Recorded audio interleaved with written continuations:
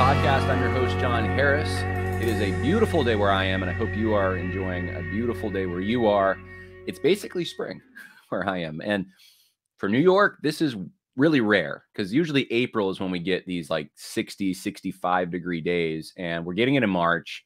Uh, it seems like it's going to be warm in the 50s, 60s uh, for the next 10 days. And uh, it's just odd. You know, watch, we're, we're going to get a blizzard. But uh, we got flowers coming up. It's great. And um, I was planning on doing other podcasts this week, and I didn't get a chance to, partially because, you know, you don't realize necessarily until it happens uh, how much work it is when your car gets hit, and and not just my wife's car, but my truck as well, and dealing with repairs, replacing vehicles.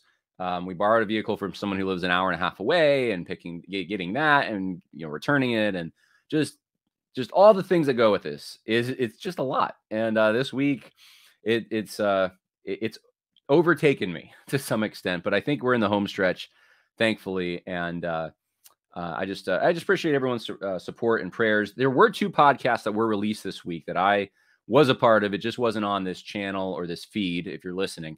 And so I would just encourage you go to my social media profiles, whether that's on Gab or Facebook or X or uh, I don't know. I got a few others as well. But if you're following me on social media, then I did post on Monday an interview I did uh, on another podcast, which it, it was interesting. It was on courage, and I shared things that I've never thought to share really publicly. And it's it's good when you have a good interviewer; they can pull things out of you that you wouldn't normally share. And so you can check that out. And then on Tuesday, I did release True Script Tuesday, and you should all be subscribed to True Script Tuesday, whether that is on uh, iTunes, you can go to True Script Live, or whether that is on YouTube, just type in True Script Tuesday, it'll come up.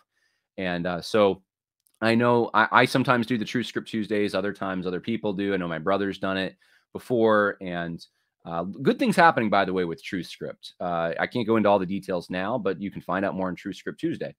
So, um, all that to say, uh, I, I, it's late in the week, but I do have a few podcasts. I'm gonna try to do another one if I can tomorrow as well, and I'll maybe release that next week. Uh, there's just been a lot going on, not just in my personal life, but out there. There are things to talk about, and of course, today we're gonna talk about something that it, it's no, you're no stranger to it. Let's say if you listen to this podcast, because I've talked about Christians and the church, and we should keep those separate. Christians' responsibilities, the many hats they wear, and then the church as an institution and and the way that that Christians in the church uh, interact in the political realm, in the public realm, and and how they ought to interact. And I think for me personally, and this is just Jon Harris giving his unvarnished opinion here, but I think that we've been off for a long time. And I, what I mean by we, most Christian organizations, at least the ones that I've been familiar with, I've been frustrated with most Christian organizations since like going back to like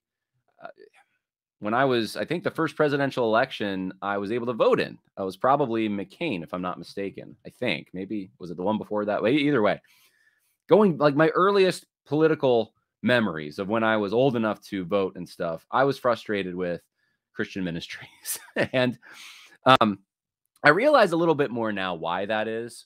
Uh, I didn't understand the law. I didn't understand like why it seemed like so many Christian ministries that at least I was familiar with seem to be somewhat dis- they would discourage Christian political participation, and um, and, and there, you know, you, you could say maybe there was some overreaction to the religious right of previous decades and that kind of thing, but uh, just overall in the more evangelical reformed world, which is kind of like the world that I was most familiar with, there there just wasn't a good public theology on this stuff, and and so I thought eh, in 2020, perhaps that would cause a lot of reevaluation. And sadly, I don't think it did. I think there's a little bit, and I could point to a few little things, but I don't know that they were actually lasting.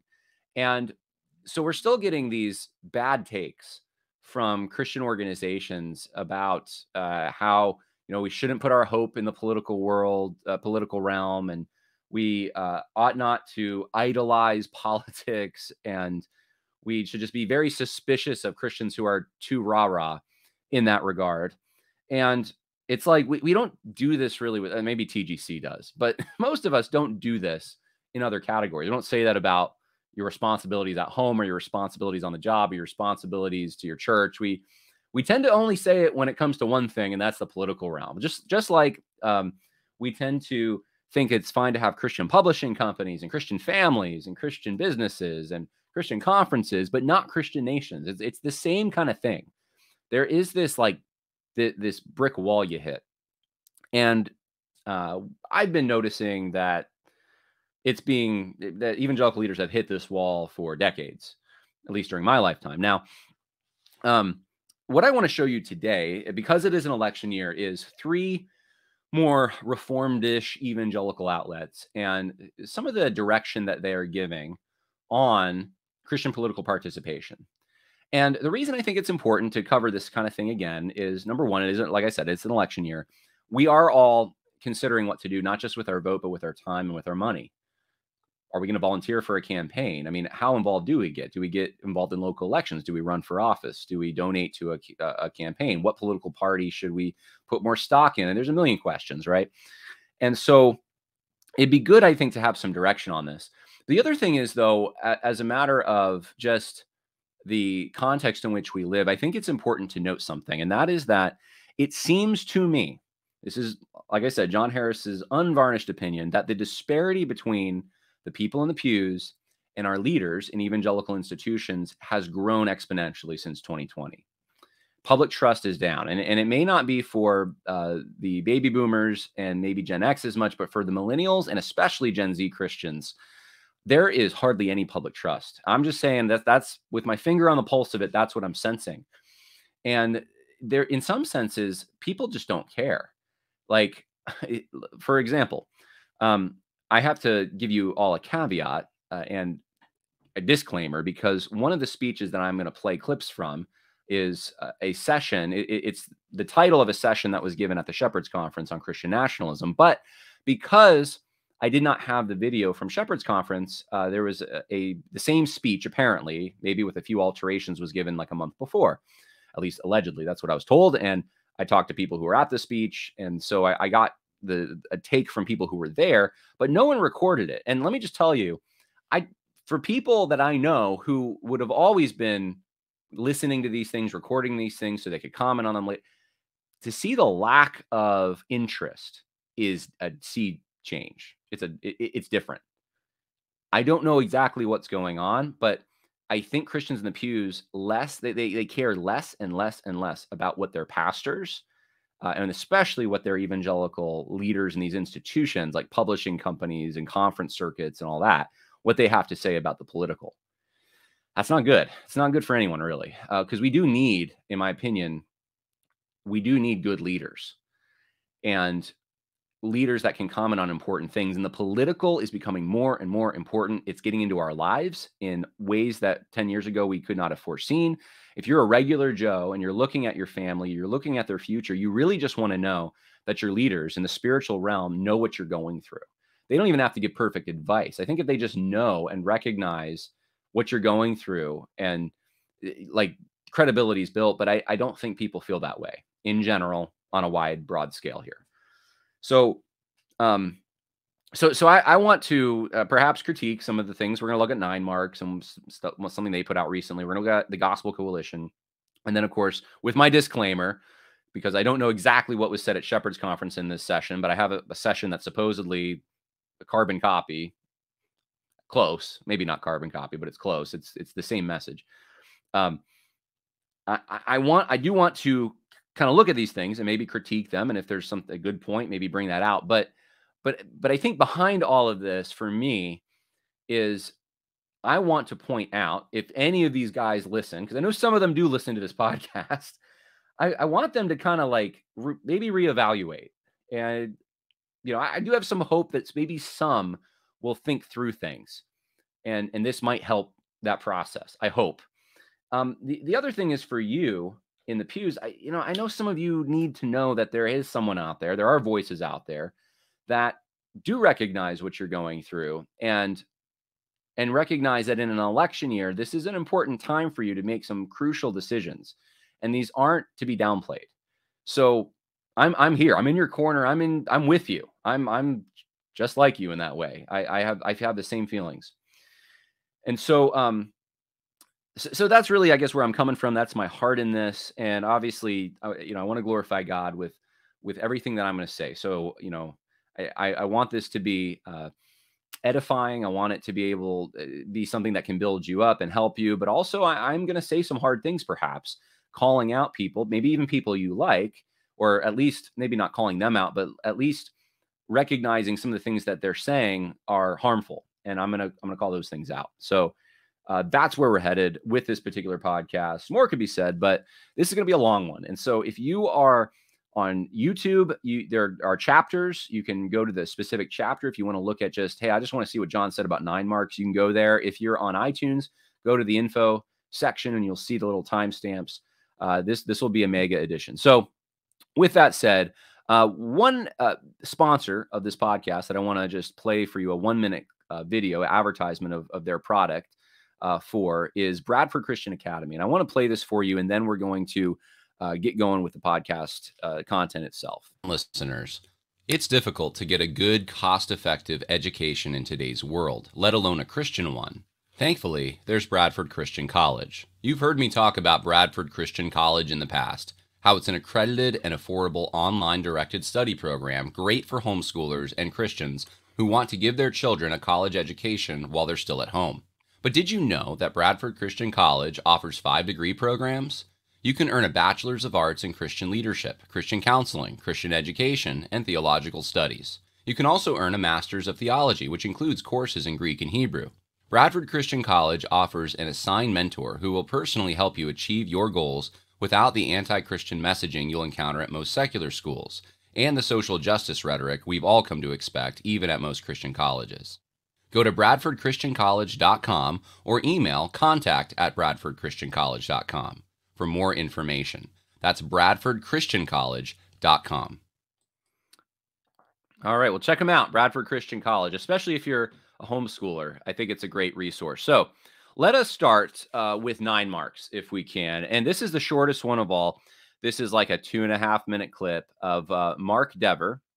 Uh, it's a roundtable discussion or a panel discussion and uh, he's asked a question about politics. Here's what he has to say. Mark, you mentioned in, in your passage, you talked a little bit about government, uh, but then you also talked about the propensity of pastors now, given governmental stances on things, to have a kind of um, doom and gloom perspective yeah. on life yeah. that you've warned against. Yeah. So, so yeah, how do you hold that balance of yes, government is opposing Christians. Yeah.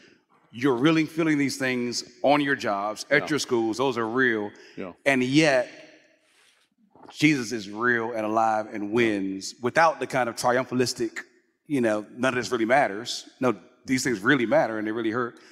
And yet, we need not fear. An image I use again and again when I'm talking about Christianity is that it is the most realistic. It's the most two eyed religion. Every other religion has one eye open and one eye closed. They either see things as basically good or basically bad. Christianity alone has the power of accurate three dimensional, like there's Romans 13 and there's Revelation 13. There's the, the sword being from the Lord and the, the, the, the beastly sword, the beastly use of it. And some people only see the negative, you know, and some people only see the positive. And neither of those things are accurate. And the Bible is mature and adult and gives us both. So it just, you know, reality is our home ground. There's nothing for us to fear.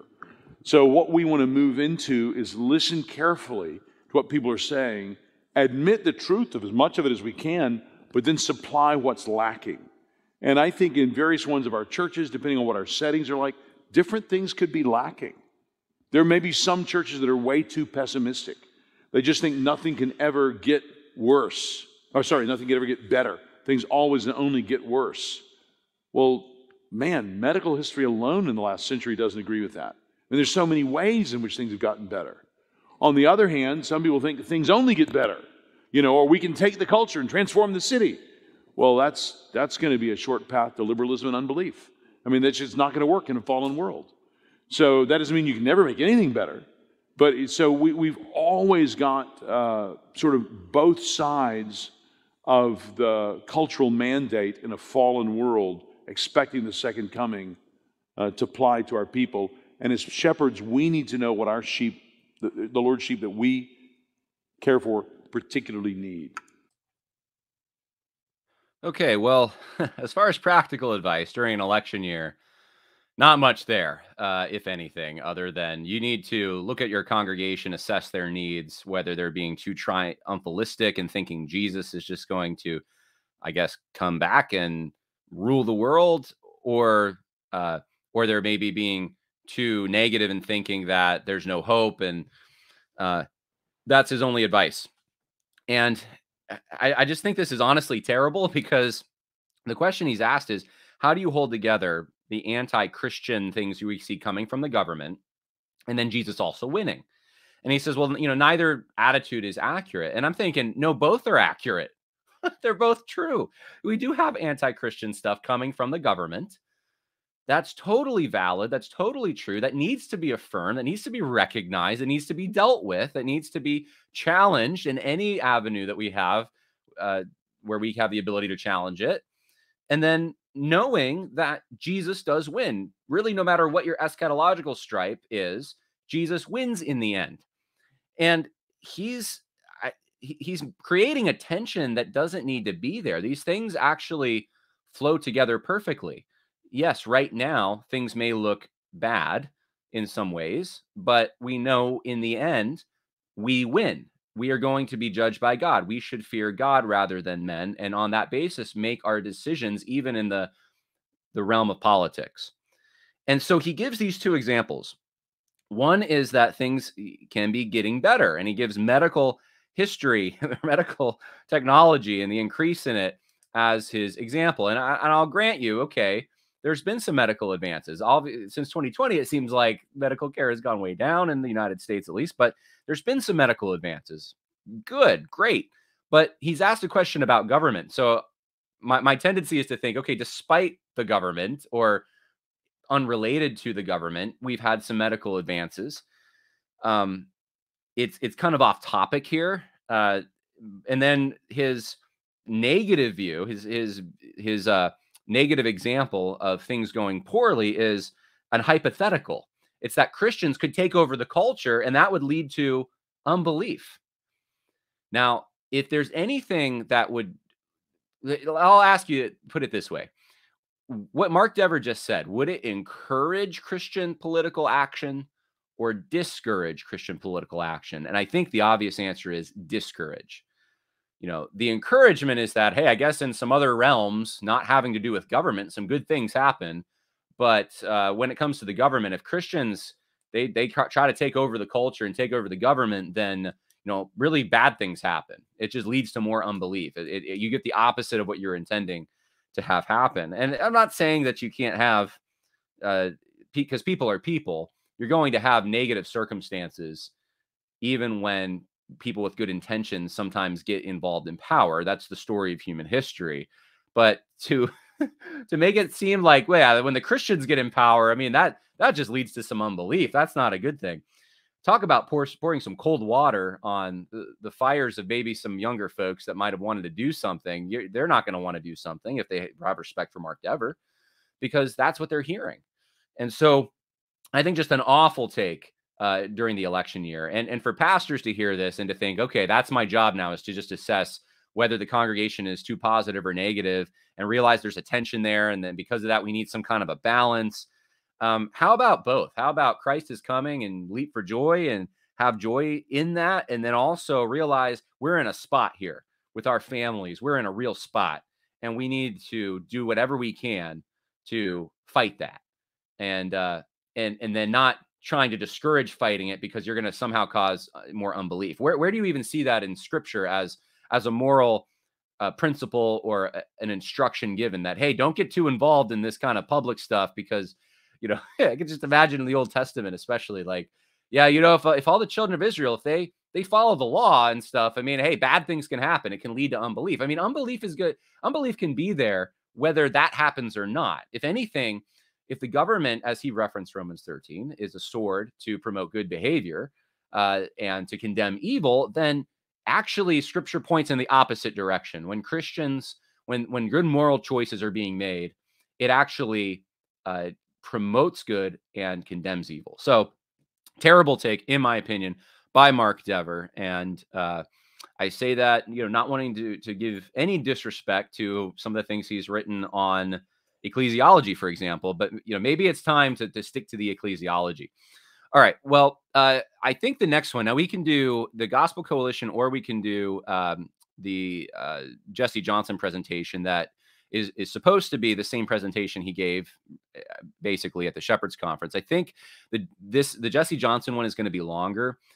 So I'm going to start with that, and then we'll do the TGC one, which will be at the end. So uh, here is uh, Jesse Johnson. This was from like a month ago or so, and it's at a church in California. But this is, uh, he says at the beginning, this is a, presentation that he gave at Shepherds Conference, um, and it's uh, it's got a um, a title that I guess was was also it's the same speech essentially. So if so, someone if someone wants to uh, correct me on that and say no, Jesse Jesse Johnson's speech was different than that, the one at Shepherds Conference this year, I will uh, I, I, will look at that because I know he gave two presentations. I know there was one last year, there was one this year. So um, I'm assuming this is the one from from this year. But um, you know, either way, I think it's important to to go over this stuff. And I realize most of you don't know who Jesse Johnson is. He's not a he's not a name, a recognizable name. Um, but he has been platformed at the Shepherds Conference for a number of years and uh, and giving sessions and so forth. Uh, not not the main sessions, but like breakouts. And uh, and this year um, he gave another one on Christian nationalism. And you know, it's funny. I had forgotten about this, but I was looking up. I was trying to find did anyone record it. Uh, there was a. Uh, I remembered it was several years ago that I guess he had also given a presentation on evangelism or something. And there was this big controversy. It might have been 10 years ago now, uh, because he condemned Way the Master, more or less, or at least uh, I don't know if maybe condemn is too strong a word, but he he opposed Way of the Master, you know, the Ray Comfort, Kirk Cameron evangelism curriculum. And I remember John MacArthur had to write a letter affirming Ray Comfort after that. It was this whole thing. So um, so anyway, I I don't I, I I don't know enough about what he's assigned to speak on, but um, but he he often it seems like at least talks about other you know things happening things things that are going on in evangelicalism more broadly and and other ministries and other movements and the, these kinds of things and, and in order to do that you and i do that obviously all the time you have to be super careful because what you want to do is you want to make sure you totally understand uh, in the best possible light according to the terms of the authors or the movement leaders what their meaning is, what their intention is. And you you need to be able to explain it to them in such a way that it mirrors the way they would explain their beliefs themselves. And uh, I do often see, it's not just Jesse Johnson, but I, I, I do often see a sloppiness where people want to critique other movements, churches, figures, books, and they just, it's obvious they haven't done the homework. And that that has been I think with Stephen Wolfe, especially, that has been super eye opening for me to see so many ministries want to critique what he has to say. And there's some things I think that you can actually critique.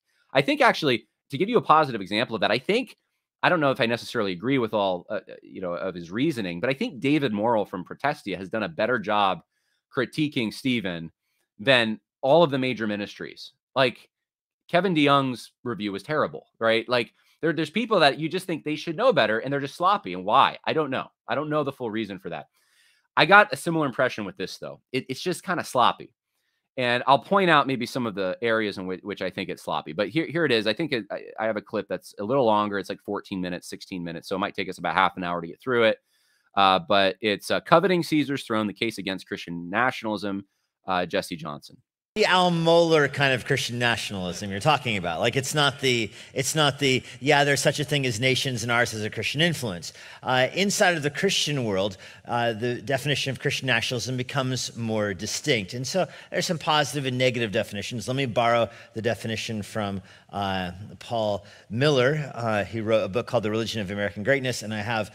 Uh, I have many problems with the book. I think there's a lot that's good in the book, but I have many problems with it as well. So, me using this definition is not me embracing the whole book. I actually do know Paul, and he's a really cool guy, and he drives a big Harley, and uh, I coach his son in soccer, and I have a great relationship with him. So anything I say critical about it, it's not it's not personal. Um, but I do have some some issues with his book. But I like his definition of Christian nationalism uh, just because it is descriptive here. The belief that there's something identifiable as an American nation, distinct from other nations, that American nationhood is and should remain defined by Christianity or Christian cultural norms, and that the American people and their government should actively work to defend, sustain, and cultivate Americans' Christian culture, heritage, and values.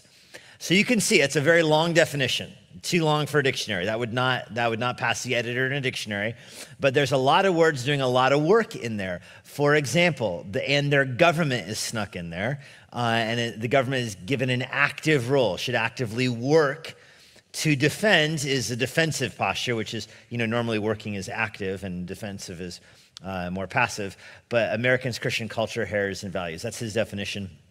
He writes in his book that the national argument boils down to an assertion that ideology cannot survive if disconnected from the non ideological components of culture. What he means by that is that if America, uh, that Christian nationalism is the belief that if American government loses its distinctly Christian flavor, that our nation will cease to exist as a nation is his argument. He will argue against that. He goes on to critique Christian nationalism. My now, I want to just say this briefly about Paul Miller because I have read his book and took notes on it. And actually, I wrote an article that was contrasting Paul Miller or, or showing what Paul Miller's root issue was with quote unquote Christian nationalism and kind of contrasting it with Stephen Wolfe's uh, version. And uh, I think I, I think I sent it to American Reformer, and they had so they were flooded with so much stuff about Stephen Wolfe's book. They didn't publish it, but um, I, am going to include it. I think in the next book that's uh, hopefully coming out soon. This late spring. Well, it wouldn't be coming out late spring, but I'm finishing it hopefully late spring. So um, with that being said, I'm just saying like I, I've read Miller. Miller Miller's book is terrible. Miller's book is terrible. Why he quotes Miller? Um, it's you know, Miller is so like he defends Drag Queen Story Hour. He slanders Jerry Falwell. His history is shoddy. He's um he, he thinks nationalism is just Jim Crow on a global scale. I mean, it's just reading everything in the worst possible light. And at the root of all of it is he likes pluralism, multiculturalism, and the proposition nation. And he he doesn't like Christians asserting themselves as as Christians in the public sphere because they should really just be about the common good and human flourishing. And that's that's the quote unquote standard, which we all know isn't actually uh, enough of a like that's not a standard. That's a cop out. So um I'm glad Jesse Johnson has some problems with the book. I'd be kind of curious to know what problems he has and why he's even like looking to Miller as this great authority on the subject when when Miller's whole entire purpose is to not just destroy what uh, would some would narrowly define as Christian nationalism, attaching it to Stephen Wolfe or Andrew Torba, but he would he he would really go against Christian political action that is inspired by and for the sake of Christians. So Christians asserting themselves as Christians in the public realm, not something that Paul Miller is going to be in favor of. He's arguing against that. So so he's I would put him more in like the CNN MSNBC camp of like people against Christian nationalism. So that's just kind of like an F FYI. That's who Paul Miller is. That's who um, Jesse Johnson is quoting here authoritatively and saying like this is this is what Christian nationalism is, and th- this is the the I guess the problematic kind of Christian nationalism. I um, critique tonight is targeted at this form, not the Al, Al Mohler form. So Al Mohler says he's a Christian nationalist, whatever, may his tribe increase. I kind of don't care. But I do care more about this, and I want to kind of give you guys a way to defend yourself against this kind of Christian nationalism. While we're at it, I would just like to point this out too, because um, Johnson's making the claim that Mohler, Al Mohler has like, I guess, the good kind of Christian nationalism. So he's trying to make a separation. You know, you got Al Mohler, he's and you got to kind of account for that, especially since you have people like Mohler who are respected still in some of these uh, circles saying he's a Christian nationalist. Well, what makes him okay and others not? Well, he's quote he says Al Mohler's okay, but then there's this other kind of nefarious kind uh, that Paul Miller critiques. Here's the thing, though: if you look at what Paul Miller says about Al Mohler on on uh, X or Twitter at the time, uh, it's not it's it doesn't seem like he he thinks of it that way. So Paul Miller on January 6th, you know, Al Mohler said, What we are seeing in Washington now is the refutation of our American commitment, a form of unleashed anarchy, which is the enemy of ordered liberty. And President Trump is responsible now for unleashing mayhem. Pray that God will rescue uh, rescue us, I think he meant to say, from this. And then Paul Miller says this rings hollow unless it's accompanied by a recognition of and repentance for how we got here. Trump's defenders, like Mohler, defended, justified, and explained Trump till now, but draw the line at rioting. Maybe the road that led to the riots needs re-examination. To put it another way, you if you argue as Mohler did that Christians should vote for Trump with full knowledge of Trump's character and record, then you own the consequences. Pleading ignorance, I didn't know he'd incite a riot rings hollow because we warned this would happen. Um, and then Danny Slavich uh, suggested in 2022, I would love to see Al Mohler interview and discuss debate Christian nationalism with Paul Miller on Thinking in Public. And Paul Miller says, I'm game, Dr. Mohler. And then Samuel Perry, who's also kind of Paul Miller and Samuel Perry are like the same in my mind. He says, would also love to see this. So he's willing to debate Mohler on his version of Christian nationalism. Um, and, and there's there's another tweet here too that uh, you know Al Mohler says, What is Christian nationalism and what is the danger? Understanding the different roles of the church and nation and God's plan. And, and Paul Miller says, Love it how Mohler just asserts that nationalism is fringe without going into any history or scholarship that says otherwise. And so I, I'm just bringing this up to say, I don't think Paul Miller, when, when Paul Miller is talking about Christian nationalism, Al Mohler is included in that. Al Mohler is not the good kind of Christian nationalism to Paul Miller. And this goes back to something that I've said repeatedly. I think the most recent was like two weeks ago when you had that MSNBC commentator saying Christian nationalists just believe our rights are given by God. And I, I made the point, and I'm making it again, that the Christian ministries who try to make a separation and say, well, Christian nationalists, like eh, the bad kind or just Christian nationalists, are the, in this narrow little group over here, and we're not that. So don't come after us. That's not who we are. It, the strategy is a, it's not going to work. It's a losing strategy. It's the same strategy that was employed by social justice activists in evangelicalism in the uh, really 2014 all the way to 2020, where they were saying like, "Hey, evangelicals are racists. evangelicals are are bad. They have this bad problem with this, but not us." Right? It was always this like attempt to make this separation, and I think if, if we if you look at it, this is just a tactic thing, but if you look at the battlefield, you look at the strength and the influence that the mainstream media has, Hollywood, the political realm, education system, and they're all lined up against Christians, all Christians who would ever dare assert any kind that even resembles a Christian morality. That's why they're even against Trump, who's not, uh, for all intents and purposes, doesn't he, he, doesn't give evidence that he is a Bible believing Christian, right? They'll they'll even line against him. If you know, just just anything that smells like there's a Christian element to it, they attack it, and they, they attack it just as hard and in the same way there's no escaping it. There's no like I, I just think that the resources, whatever limited resources we have, should be really focused on them. Uh, uh, not not obsessing over them, but like fighting them, undermining them, uh, inspiring people to fight against them in in the political sense. Um, and that's you know, and we're we're spending our resources um, with with going after people like Stephen Wolfe. and, and, and even to some extent, like I'm sitting here spending my time, right? And, and I think it's worth it, obviously, or I wouldn't do it, but trying to kind of like explain and sort of demystify, uh, or not demystify, but like I, I'm attempting to uh, show you why perhaps you shouldn't listen to all the advice from the the big evangelical industries that have traditionally been trusted.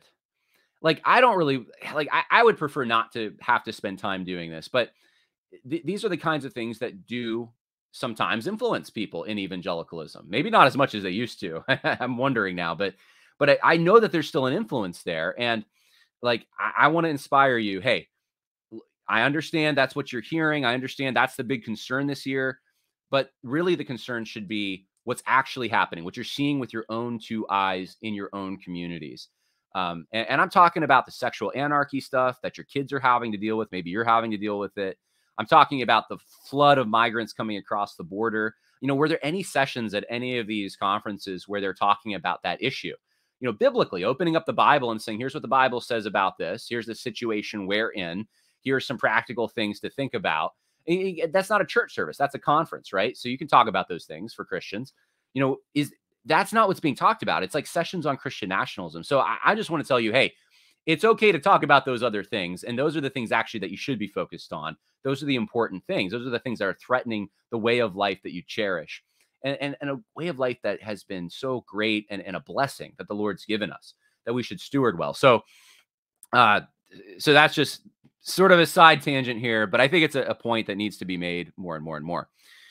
All right, let's keep going with uh, Jesse Johnson. Uh, my concerns with Stephen Wolfe's approach to Christian nationalism, which again is taking off in the church at large, uh, is fourfold. I have uh, four critiques of his approach to Christian nationalism. So you're taking notes, you could write uh, these down to get the substance of what I'm talking about tonight. My first objection with Wolfe's form of Christian nationalism is it idealizes the past it idealizes the past. Wolfe argues that uh, the goal of Christian nationalism is to recover a Christian heritage in a nation. It's this idea that the United States used to have this Christian past and that we have since lost, and that it is the church's uh, calling, uh, the Christians calling individually and the church's calling corporately to regain that sense of Christian identity. Now, there were two things that you heard there. The first is that there's a Christian past that needs to be somehow recovered in Stephen Wolfe's scheme of Christian nationalism. And you're going to hear Jesse Johnson in a moment argue against that, that we didn't really have the Christian past that quote unquote Christian nationalists thinks we think we have. And then the second thing is that uh, Stephen Wolfe argues that the church uh, corporately should be advocating in the political realm to, to make Christian society and Christian government come back. That this is not so. So hear what I'm saying, hear what he's saying. Not just Christians as individuals, but the church as an institution. Now, I want to point something out to you, and I almost hate to do this, but eh, I just don't even I don't see another way around it. If you go to Stephen's book, all right, and this is early on in the book, chapter uh, two, there's a section that says the church and the people of God, and Stephen goes into great detail about what he means by his term. He tries to define himself, and he says that um, we should distinguish between the visible church and the people of God. The distinction here is subtle but important. Both refer to the same people, but people of God refers to Christians as restored humans, not only to their common profession of faith in Christ for heavenly life, but also to their earthly life in Christ. The visible church, in my use of the term, refers only to the spiritual, heavenward aspect of those who profess Christ. It refers to the sharing in and common pursuit of the highest good. But the people of God refers to restored men in their completeness, pursuing not merely the highest good, but the complete good.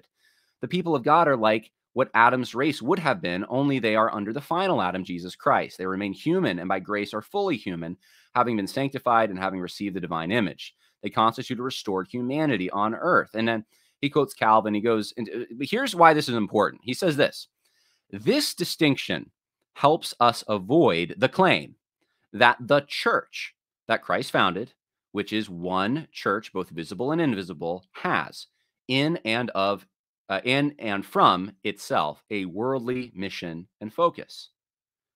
Let me read that again. This distinction helps us avoid the claim that the church that Christ founded, which is both uh, one church, both visible and invisible, has in and from itself a worldly mission and focus. In other words, what he's saying is that the church as an institution isn't what he's talking about. He's talking about the people of God. And you hear Jesse J- Johnson here just I, I, don't know what how to else to I mean if there's a better word that's more kind or whatever or more accurate let me know in the comments. I don't know how else to see it. It's inaccurate, it's sloppy. That's what it is. It's sloppy. That's he's claiming Stephen Wolfe thinks the church um, corp corporately is supposed to be uh, being part of this mission to restore Christianity to its rightful place in the government and in society. Stephen talks about this, and if you just if you just read his book, you know that that's not what he's talking about. But if you go back to who's a Christian in the early 1960s, it's writing like Martyn Lloyd-Jones. You know, what did he say about the American culture of the 50s and 60s? Oh, he hated it.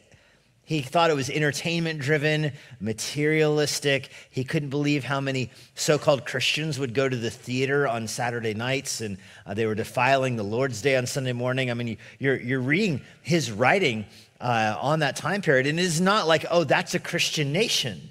You know, Spurgeon said of the American culture in his lifetime, quote, he called it, quote, shameful and abominable.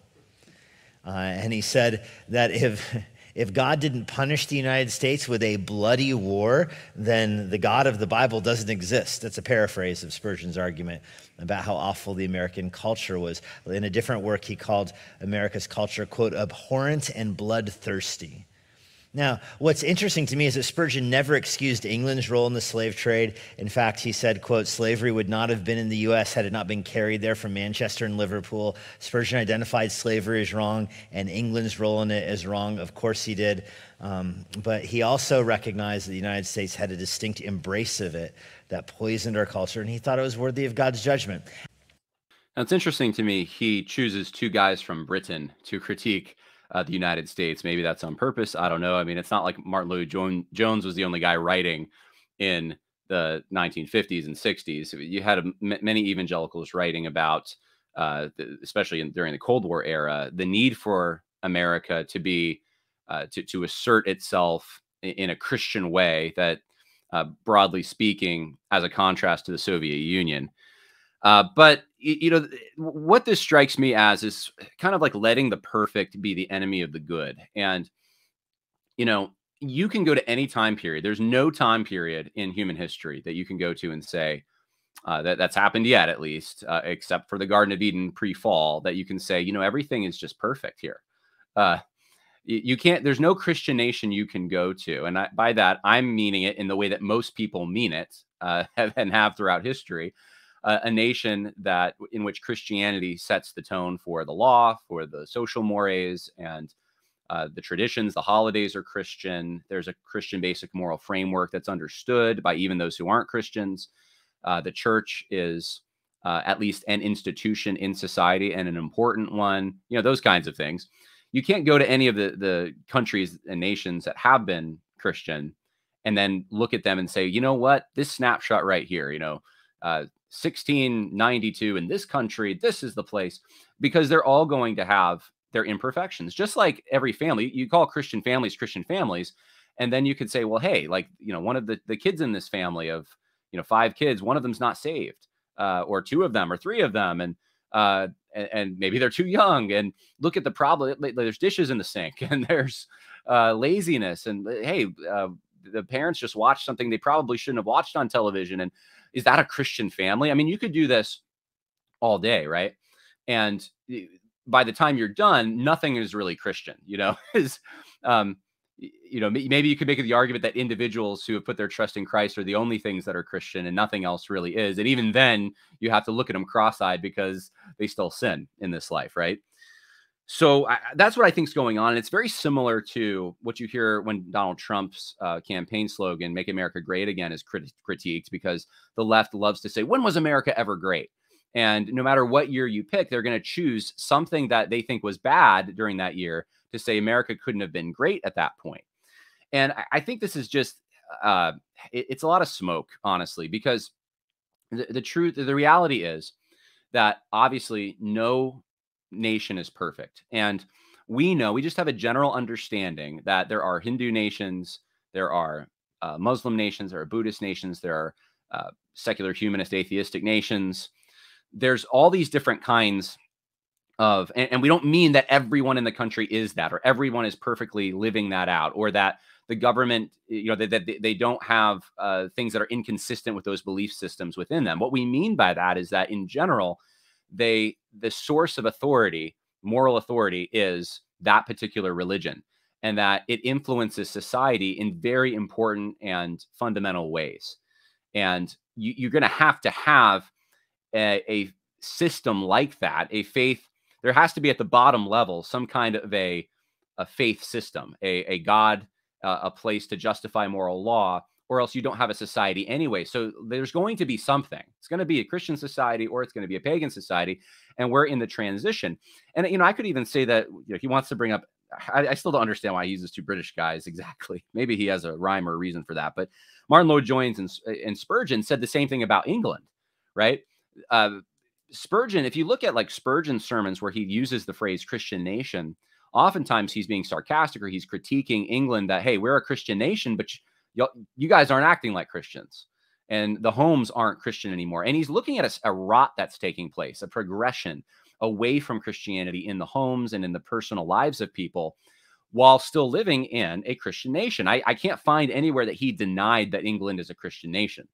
Just that it, there's hypocrisy that we're not living up to it. And it's almost a joke now that we're living in these these terrible ways in England and we call ourselves a Christian nation. There's some hypocrisy there. And guess what? There's probably levels of hypocrisy in many Christian homes as well, however small they are. And so um, Martyn Lloyd-Jones, Charles Spurgeon, in, in, their sermons, they're all they're, they're preaching.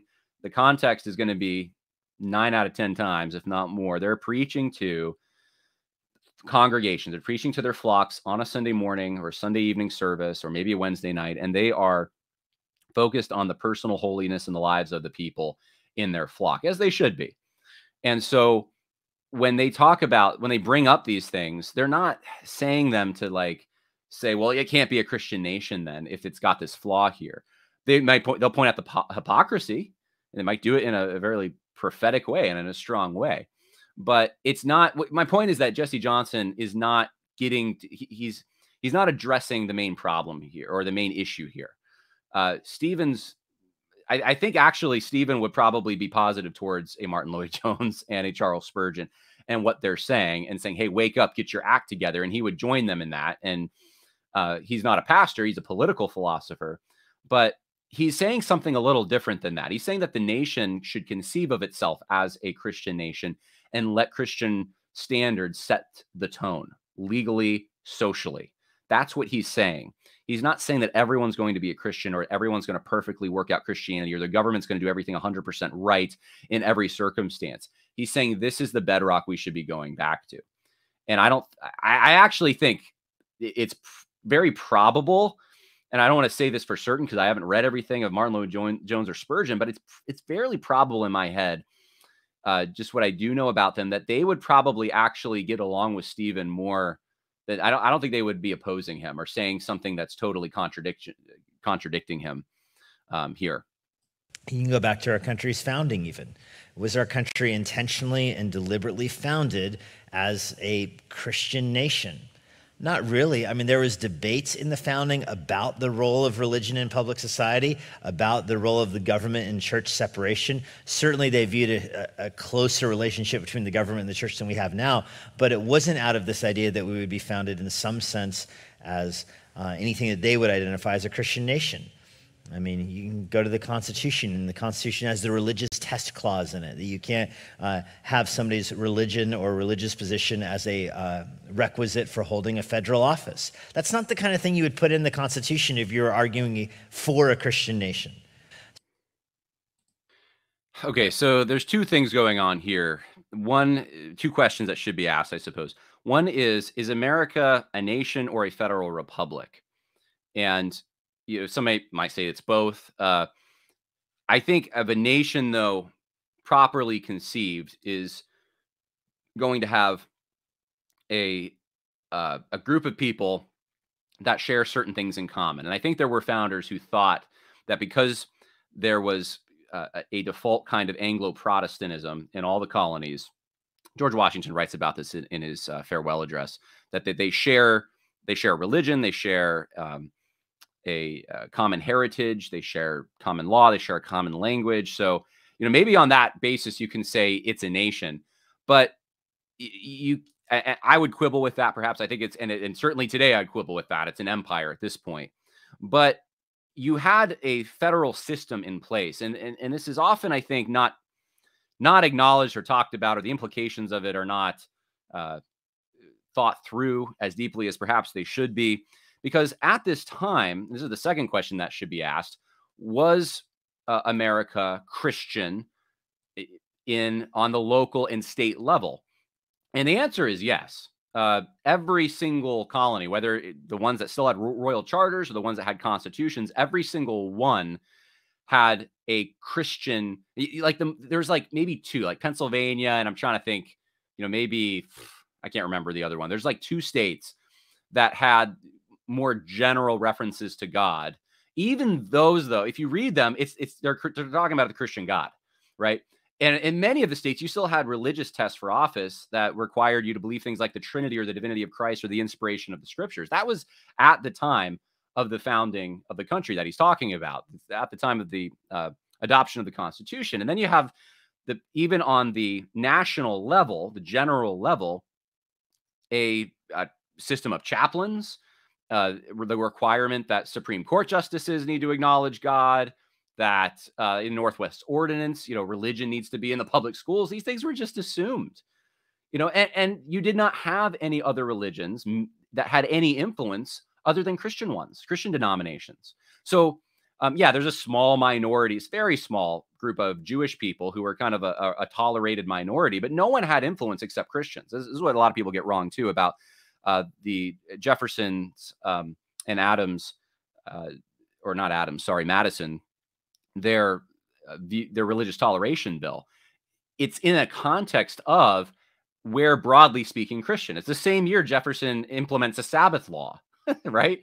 Which you know, I, I, think probably the guys like Jesse Johnson would be against that kind of thing. That's a institution of religion, but you know, the people who were the most liberal in these ways still believed that the freedom of conscience was to worship God, not multiple gods, not Satan, not there. There was a general Christian understanding. So you, you might be able to say something like there was tolerance for a multitude of different denominations that were Christian. And you know, and depending on what state you were in, there might be more or less tolerance. But there there was a, an allowance for that on the national level or on the if you want to call it the general level, which I'm trying to get in my speech more, the general level. Yes, sure.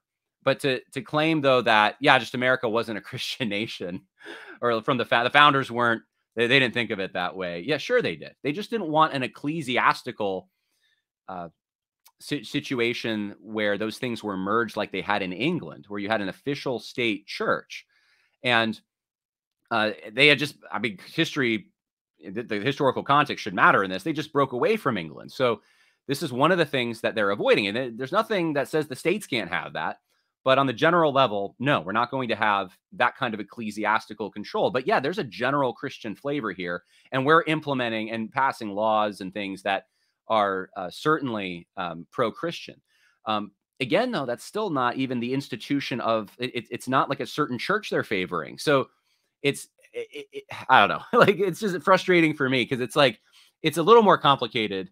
And I, I think when someone says, knowing all of the intricacies of it, says, "Yeah, we were a Christian nation," I know exactly what they mean, and I think so does so do most people. And we can recognize that, especially within the last 50 years, 60 years, we've totally gotten away from that. Like we're now implementing paganism. That we're, we're in the beginning stages of that.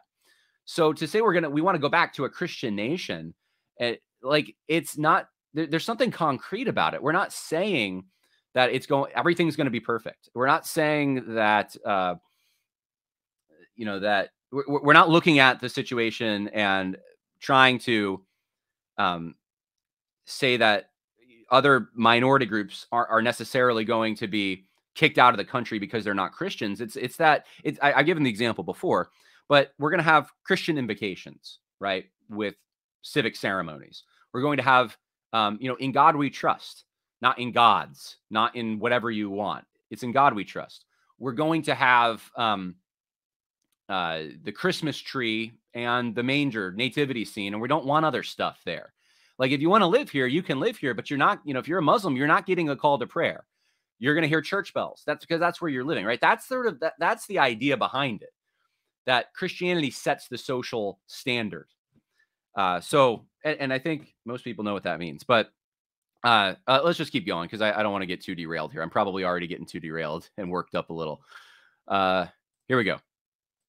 Second addition, a difficulty with Christian nationalism is that it impossibilizes the future. What's that you say? I mean, it impossibilizes the present. So Wolfe's argument here is that through democracy, we need to reclaim our country as a Christian nation. And that's a pretty good definition of Christian nationalism. I think that if, if only the church would get their act together, we could go back to being a Christian nation. Again, not the church as an institution, the sloppy wording here, Christians, uh, the people of God, if you want to use Wolfe's term, it, it's just be careful because it, it lends itself to a misreading. But it really is a numbers game. And Christianity is a narrow path. It's a narrow path. So if it comes down to just as simple as if more people voted, you're not gonna you're not gonna win. And I noticed that this is from Canon Press. Um, I mentioned earlier Moscow, Idaho. You know, a lot of that's all in on the Christian nationalism front, but they can't they can't take over the city council in Moscow, Idaho. Now I want to say something about this. Um, I actually think that's a good point. that's a good point that Jesse Johnson brings up here. Now, I don't think it relates to Stephen as a political philosopher and what Stephen's doing, but to say that, hey, we have an insurmountable kind of this is hard stuff. We may not be as successful, but now we're in the realm of practicality. We're talking about prudent, prudential judgments and what is possible and what's not. We're not in the realm of what ought to be, what, what what's the direction or the course that we should set.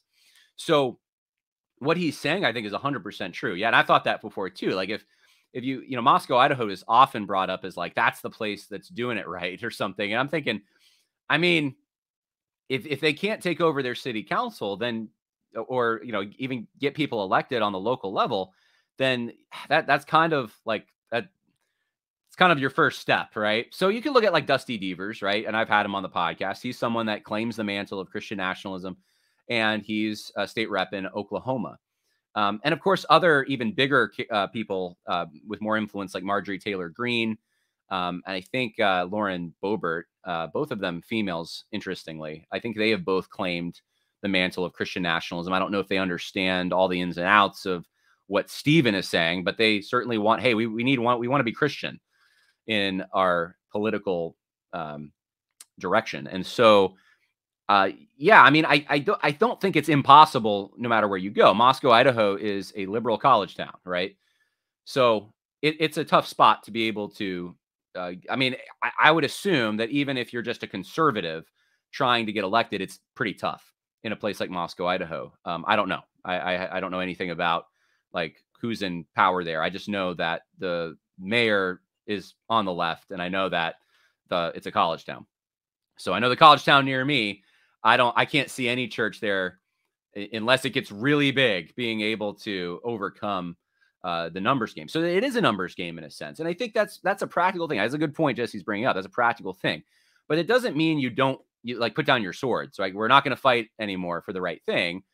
Um, it, that's a practical thing, and and we could say that like if you're in California right now and you're stuck, you have to live there, you know, or maybe you want to live there, whatever. Uh, and you're in Los Angeles, like the chances of you even getting a Republican elected is pretty slim. Does that mean you just like vacate the field and don't? Well, I mean, maybe you need to look at other strategies. I know uh, the last mm, uh, election, there was a guy who was fairly conservative who ran under the Democrat ticket, who was tr- trying to primary the Democrat as, hey, let's try this outside the box strategy. You know, maybe you got to think of things like that uh, to try to exert some influence. But um, it, I just don't see where that like you you can't go from that to well, you shouldn't even try because like it's in certain regions it's too hard. Hey, if you're in like the middle of Kentucky, you probably have a pretty good chance of it's it's all Republicans anyway. Like, why don't you get a guy in who's you know Christian and even more to the right and you know wanting to bring in uh more Christian laws and, and Christian influence. Like, why not? You have the ability there, right? So I think this is more of a prudential thing than anything else. But I, I think it's a, it's a point worth uh, looking at. Third objection to this is that it institutionalizes the church. It makes the church a subsidiary of government.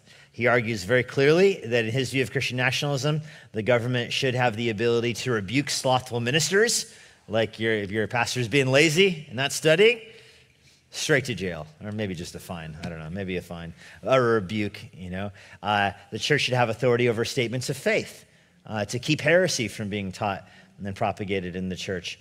Um, and, and, he has other examples as well. But that makes the church subsidiary to government. It goes radically against um, the kind of political theology that's often been taught and practiced by evangelicals and Baptists throughout the post Reformation world. Now, for me, this critique you just heard is probably the most potent and relatable critique that Jesse Johnson offers because I think even living through 2020, we kind of feel this like we a mistrust of the government.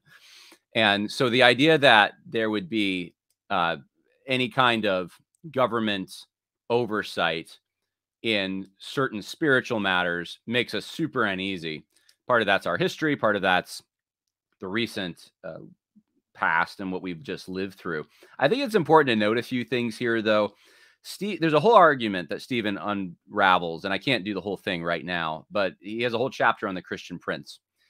And his point is that, and, and I should say, he relies on Turretin and Calvin and all these Reformation guys who are then trying to distill the teachings of Scripture. And he believes that the magistrate, and he calls him the Christian prince. And so uh, I should also note before I say this that a lot of people think this is just an authoritarian, fascistic type figure. And Stephen's made it very plain, I know, especially since then in interviews and stuff, and that he's not talking. He, in fact, I was at a, an event where he talked about George Washington as being a Christian prince. So the, the Christian prince is not necessarily this super authoritarian figure. Uh, the Christian prince is the person with the authority, with with the sword, who God has, who's directly accountable to God and not the church, but to God directly for what he does. And he argues this at length. I think he does a good job.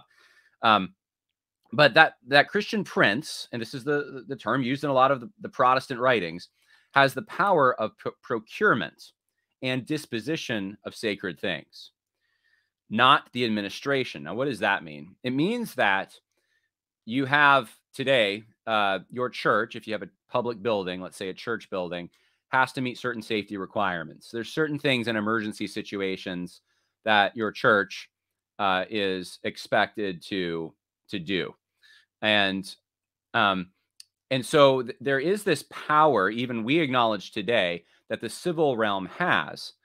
In and you is it in spiritual matters? It's not in the spiritual matters as such. It is though around and about them in a way. It's it, it there is a certain regulation uh, that they have that might limit or expand your ability to, in certain situations, uh, perform these spiritual things. Now, he makes it clear, too, in the book, that there is this barrier that, for example, the Christian prince can be excommunicated by the church. There is a spiritual power the church has, and uh, and he has no power to do those kinds of things. So th- there are divisions there. But uh, the specific example that Jesse Johnson brings up, slothful ministers and uh, oversight, overstatements of faith, um, he does mention uh, slothful or lazy is the word he uses, lazy ministers uh, that they can be corrected by this the uh, uh, the Christian prince if they're not doing their job. And the Christian prince has the ability to call councils and punish arch heretics. And so that's what he must mean by the oversight over statements of faith, because he doesn't really talk about statements of faith like you would think of in like a Baptist church. He's talking about calling councils where you have uh, major schisms and so forth. So we're going back in a way to a medieval era. And I think this was the critique. Um, I don't remember if it was Mark David Hall or Kevin DeYoung. I forget, but one of them had brought this out about like, hey, this is just a medieval era. We're not going back to that. And so this is irrelevant. But you got to remember, this is a work of political philosophy. Okay. So we're in the abstract. And to make that concrete and to look at, you know, how would that work in our society today is another matter. And Stephen, actually, it's funny enough, I was looking back through some of my notes on his book. And, you know, he talks about, um, you know, basically the civil government responding to major threats. That's what he's talking. He's not saying that your your local church pastor is a little lazy, doesn't study enough. I mean, that that's where you know Jesse Johnson's mocking him. He's talking about like major threats to the faith. And uh, I'm trying to look for the exact quote. I can't find it now. There there was a quote I know where he talks about you know basically the American kind of uh, uh, tradition of valuing individual freedom and stuff. And he says he wants that. And in fact, he even says that his version of Christian nationalism, this is compatible with the First Amendment to the Constitution. So it's it's a little more complicated. It's a little more heady. It takes a little more work to kind of get through exactly what he's saying. But he he is not saying that the church, and this is J- Jesse Johnson's conclusion, which is wrong, that the the church as an institution is just subservient now to, to the state, uh, and, and, that's the end of the sentence. Basically, it, it's not that; it's that the church, uh, as an earthly institution, in in that capacity, has to abide by rules that are laid down by the Christian prince, by the state, by the civil realm. Uh, we actually already do this uh, in a like I, I gave a few examples. We we have some ways in which we do this. That does not mean, and he makes it clear that it doesn't mean that there are s- spiritual things that the government gets a say in. Um, so you know the government can't come in uh, to your church and start you know, saying we're going to take over the administration of the sacraments or the the what's the word that we Baptists like to use the ordinances. we like that better than the sacraments. That that's not something that the state can do. So there are there are these limitations, but um, but yes, he does give a role to the Christian magistrate, the Christian prince, that I think many would be uncomfortable with, and we're thinking Joe Biden in our heads. And he's leaving it in this sort of theoretical realm where that could mean your mayor, that could mean your governor, it could mean it could mean local leaders uh, responding to those things, and you know maybe a nat- great national threat. It would be the person at the top of uh, of that or something. But um, he, but before all this, behind all this is this kind of this desire that the national will of Christians is kind of like personified by this Christian prince. So you have someone who has character, who has, I mean, that's kind of like the, an assumption here that he's also making. So you see examples of this uh, from you know, even some post Reformation times. You see examples of this. It, Stephen even talks about in the same chapter in the Christian Prince. And I'm, I'm not here to explain everything Stephen Wolfe says, but I, I got to say this one last thing. He does talk about the Roman Catholic Church and how they were very rigid and how the Protestant tradition is not that way, that there is uh, a, a toleration that Protestants have um, and I remember I was just reading a book, uh, Pierre Viret. Now he doesn't mention Pierre Viret, but Pierre Viret uh, even talks about like in under certain conditions that you know not to to in certain towns and regions.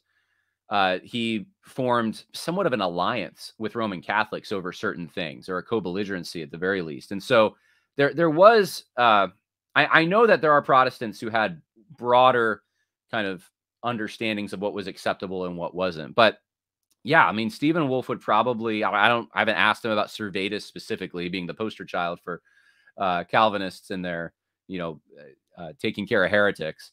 But, you know, would Stephen uh, look at a Servetus situation and say, actually, that probably Servetus needed to be punished? He may have, I don't know. And that maybe that's a disagreement that some in the audience have. What I would say though is if you read his book and you take the chapter seriously, you're going to have to bring your A game and you're going to have to, you know, really work through it. And it's not, I think Jesse Johnson has this kind of dismissive, like cavalier attitude that, that just sort of comes through that uh it's it's just not I don't know, it doesn't seem like to accurately represent the serious nature that uh that under which Stephen is writing these things. So um but I would say that's the most potent and probably maybe the only potent in my opinion thing that he has to say about this. Uh, let's finish this up, and then we need to get to the nine mark stuff because we're going. This, like I said, it's going to be a long one, but we're going pretty long um, already. So here we go. This form of Christian nationalism idolizes ethnicity. Ben, I want to be careful with my words here because he's, he is pretty careful to not bring race into the discussion. He objects to the idea that, this, that anything he says is racist, of course. Um, and he would agree with me that there is only one race. That race is a you know a biological fiction. There really is no uh, biological defensible concept of, of race. Um, but the Bible uses the word ethnos for ethnicity, uh, which speaks of different cultures and languages and what we refer to as ethnic identity. So he is talking about that. Um, nevertheless, he, he, he makes, I would say, he makes an idol out of race. He gets very weird when he talks about interracial marriages or interethnic marriages. Uh, he even develops another category for, like, you would say that homosexual marriage is not a true marriage at all because it's not marriage. And then there's marriages that aren't wise, of course, that people aren't, aren't compatible, and there's marriages where everybody's a good fit.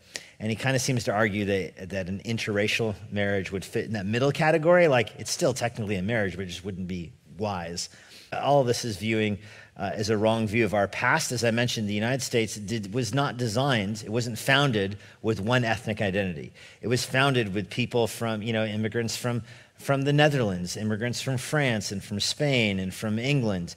Uh, and as the U.S. expanded, it, it, intentionally adopted even more of that. You get to Hawaii and you take out Hawaii, which has its, you know, incorporate that into our country, which has its own ethnic identity. And, you know, he would argue that Hawaii has one ethnic identity, which shows that it's truly its own nation, but it ain't anymore. Like, it's, there's a star on the flag and everything for it.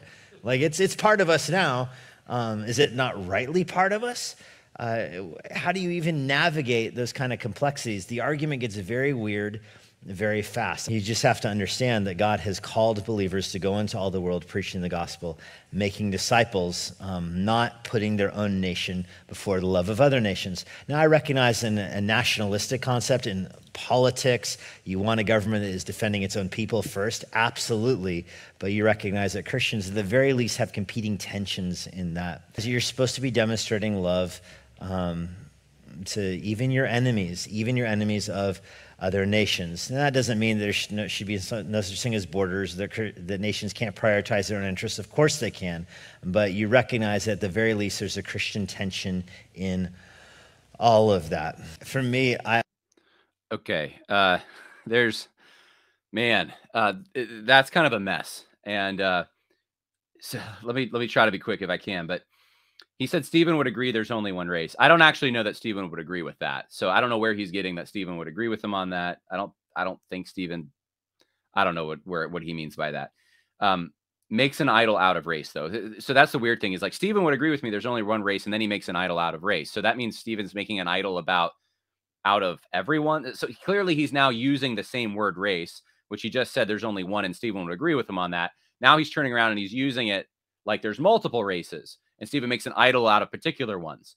So it's just super messy. Like you're using using Jesse Johnson's using like different understandings of words, and he's he, he he's defining them differently from sentence to sentence. And then he goes, he talks about interracial marriages uh, that Stephen would think they aren't wise. Um, I don't know if he's getting this from Twitter stuff. That's what I assume. I don't I don't know that he's getting there is like a little section in the book where Stephen actually has there's a footnote where he talks about He's not against interracial marriage and stuff. Um, but he, he thinks like the border needs to be sealed because we we need time to basically uh, form an ethnogenesis with the people who are here. We we can't really we can't sustain what's happening, which I would agree with him on. But you know, there's that tweet from him that I, I bring it up when people bring up, you know, Stephen's got this problem with race or ethnicity or whatever, where it's from I think 2019, maybe 2018 originally, but it was Clarence Thomas with his uh, with his wife, and Clarence Thomas is black, his wife is white, and Stephen says this is a good and fitting marriage. Stephen's not putting Clarence Thomas's marriage in the category of unwise. Now, he may be saying on a broad national level, you lose your nation if there's a certain level, if it's too high of a level of uh, different people coming in and you're merging with them, you you lose something in that but that's much different that's a sociological thing that's much different than saying on an individual level and people often conflate these and that's a sloppy thing again i think jesse johnson i don't know how else to say it it seems like he's just being sloppy. Um, the us was not founded as an ethnic uh, as one ethnic identity he says and because we had different people from europe here. The, the thing is though at the time uh, you read the book albion seed right by David Hackett Fischer yeah, you had these little bitty pockets of minorities here, just like you did in places like yeah, Great Britain at the time and other European countries had the same thing. Like there was little pockets here and there. You had Jewish people, you had people who were, you know, there from um, from other countries in small numbers.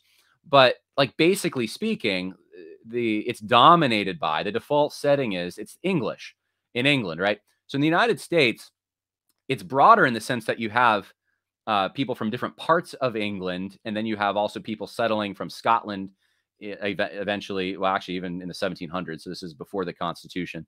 Uh, you have them settling in the the Appalachia and that kind of thing. But um, but these people were very similar. And that was George Washington's point in his uh, farewell address that you you're similar. You have similar. You have same religion. You have same uh, language. You have the same traditions, same law. So there, there was enough similarity there to kind of form an ethnogenesis. At least that's what that's what some people thought. Now, you can look at you know the, the war that happened uh, not long afterward and say, hey, maybe they actually were kind of different.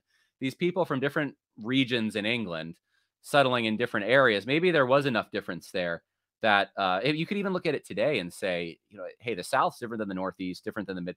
I, I tend to think we have an empire. It's composed of a, a, number of different nations, and especially out west, you have actual, literally, you're driving through Arizona, you have the Navajo Nation in the United States of America, but it's the Navajo Nation, right? So I think we we already have this uh, this situation, and so then this theory would be applied to individual nations, you know. And um, he's not talking about empires necessarily. That'd be interesting if he wrote a book on that, but that that gets into the Hawaii thing, like you know, hey, it's just how do you apply Stephen's thing to Hawaii? And uh, today, Hawaii though is mostly populated by I think the, the uh, people who are natives there who can trace back before colonization, they're they're a small in small numbers. But sure, yeah, I mean Hawaii. I don't think there's any doubt in my mind, and I don't think there would be in Stephen's mind that Hawaii had a distinct language and and they were they were distinct people, and so it was colonized. Like literally, it was colonized, and the character of it has changed since then. So today, maybe Hawaii, and I, I have been to Hawaii. Um, I could see. I, I think it's in a transition, but I, for me, like, I, I think that there are differences, but there are also many things that are very similar. Uh, to the United States. And again, it's the empire thing. It really is. Like I was in Puerto Rico, um, uh, not long ago actually, and um, it's the same thing there. It's uh, it's a territory of the United States. There's so many things that are similar. These these transitions, but it's also very distinct in many ways. And if Puerto Rico wanted to be its own thing, I think they voted for it a few times. Uh, they wanted to be under their own, strictly their own, not just their local government, but like totally sever ties with the United States. It would make sense. I could see that happening.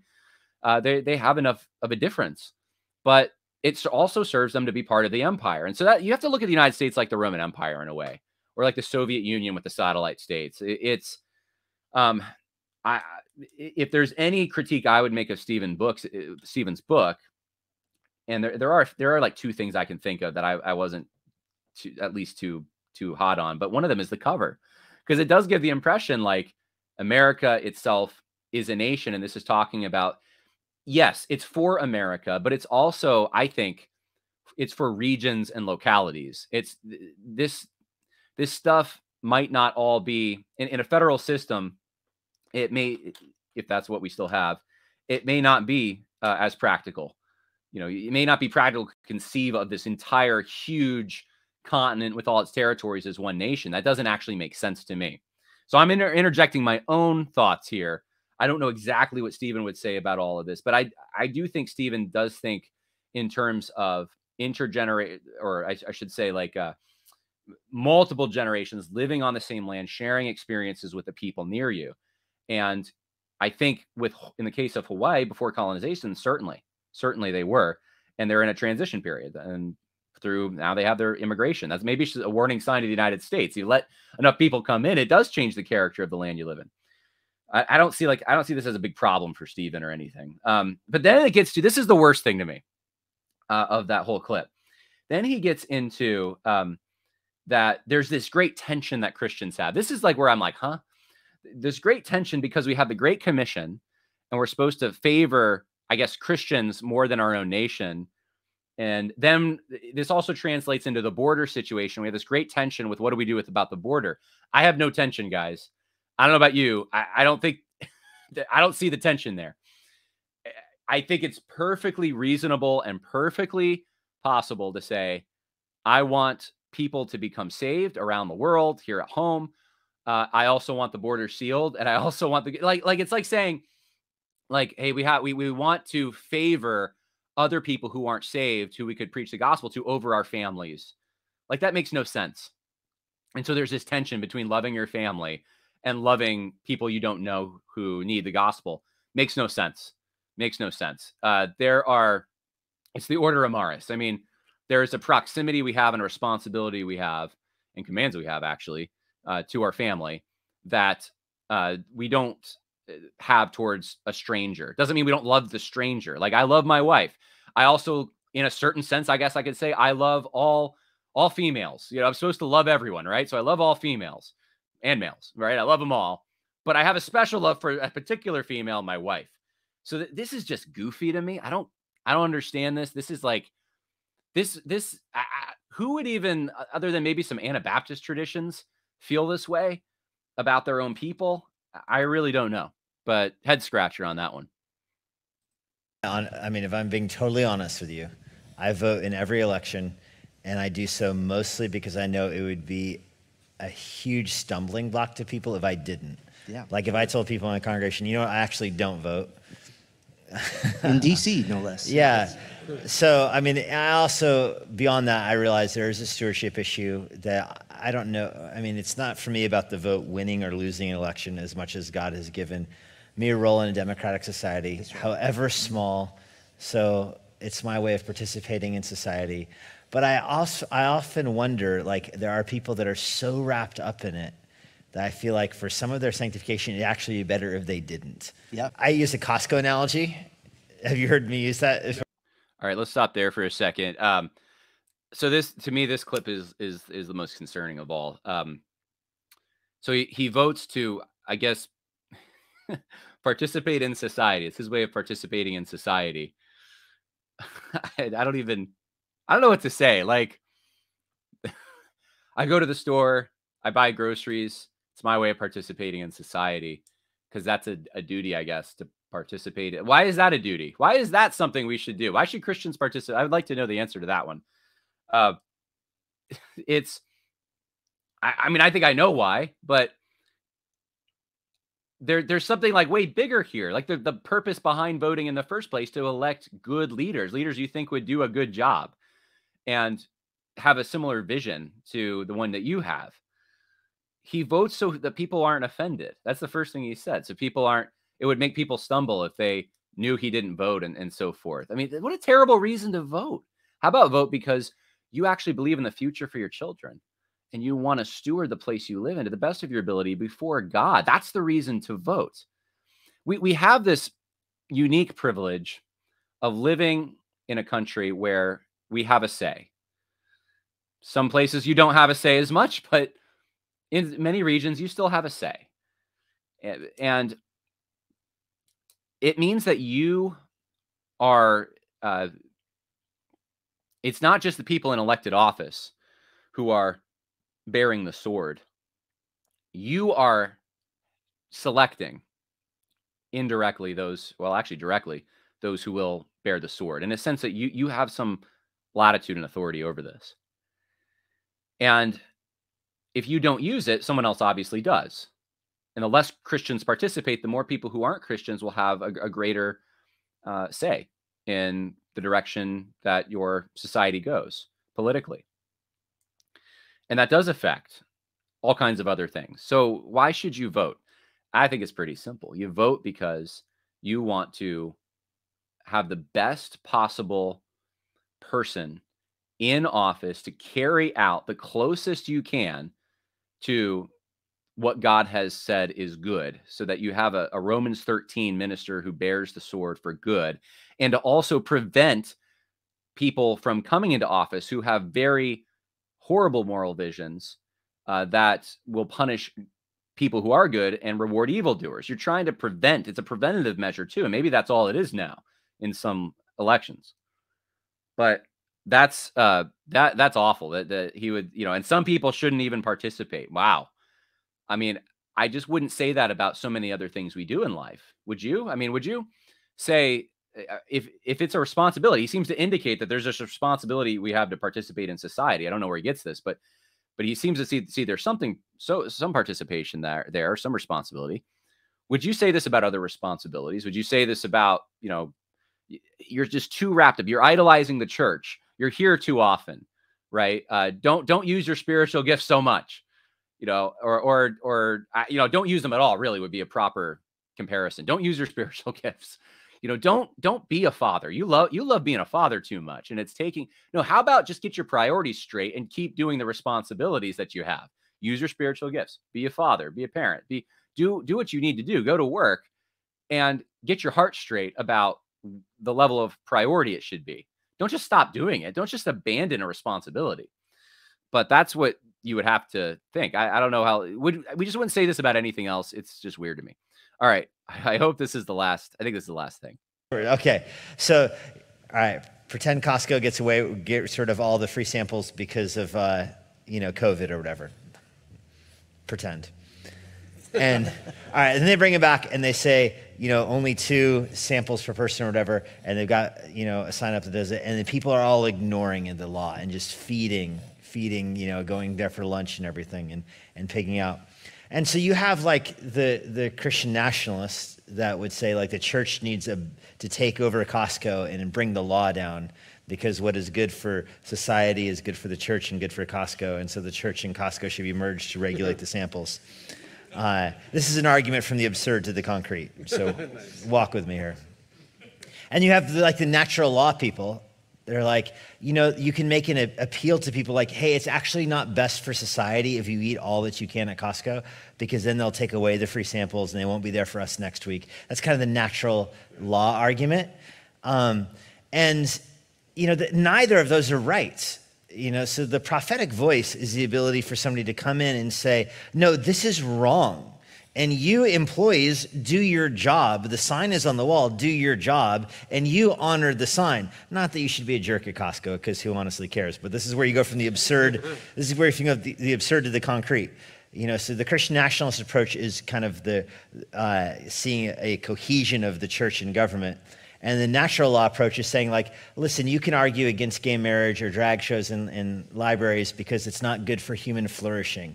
Like, you shouldn't be doing transition surgeries on fourth graders because it's ultimately not what is good for society and they might have mental issues later on in life, like that kind of argument.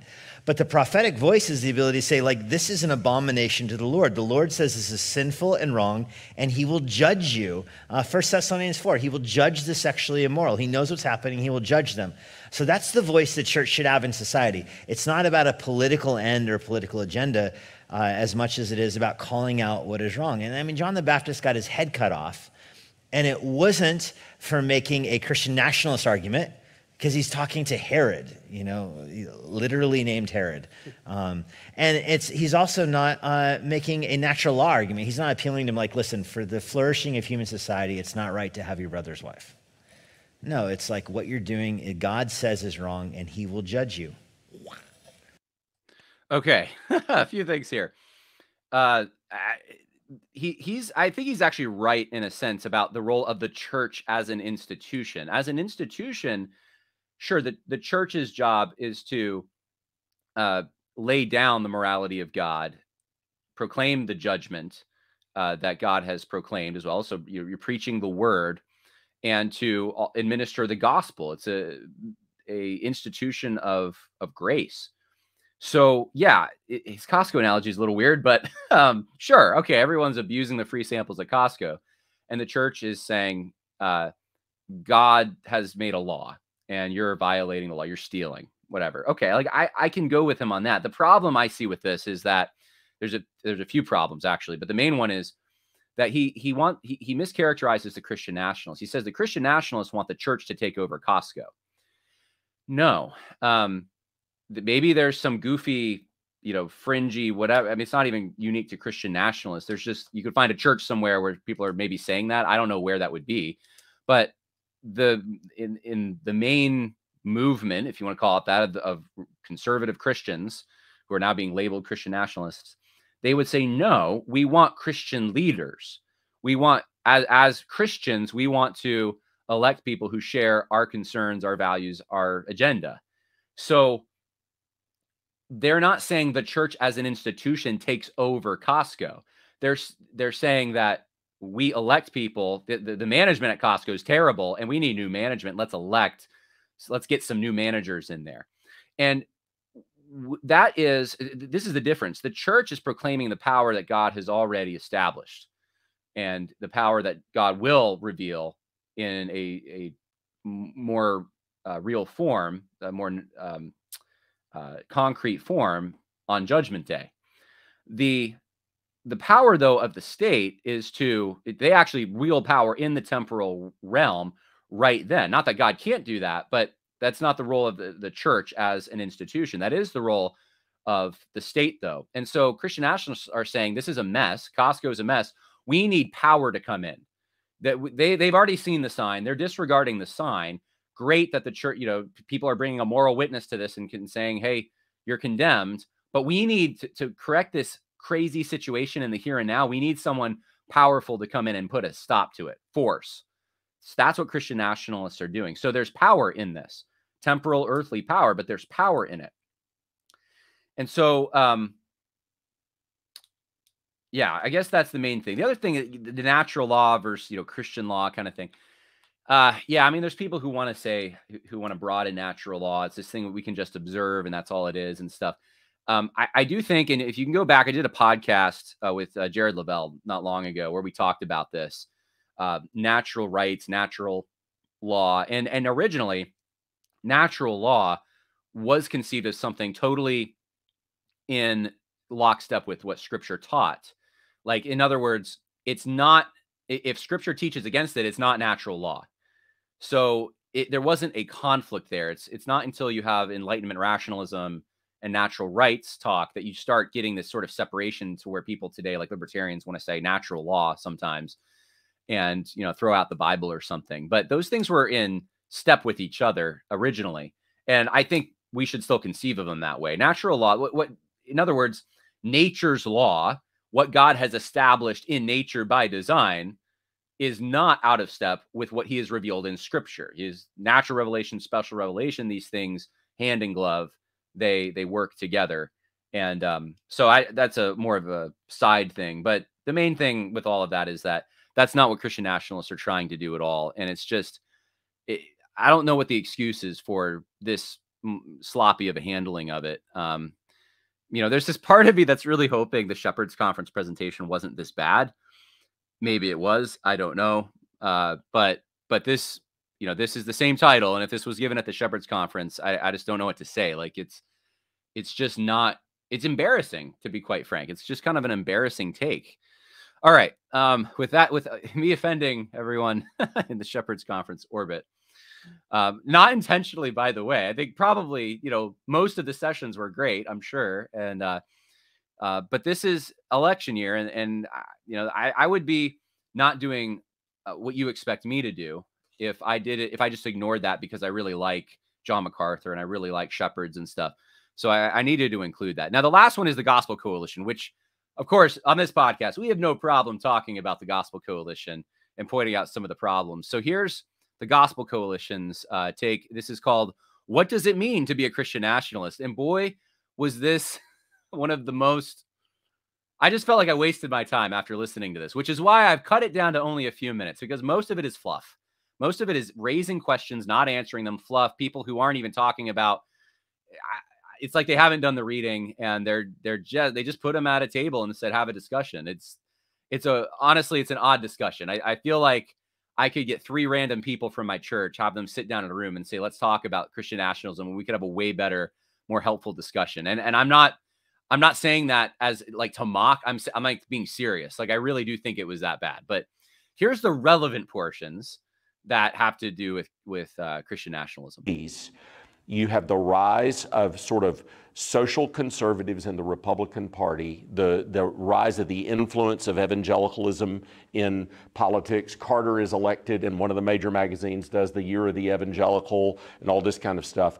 Within that movement, the Reconstruction movement, the theonomy movement, is sort of part of that right wing wave that's growing up, wanting to influence the culture with Christian uh, virtues, ideals, principles, laws, etc. Today, the Christian nationalism uh, group, I really think, represents a sense of the loss of influence in culture. It, it, it, it, it represents a tiny, tiny, politically uninfluential group.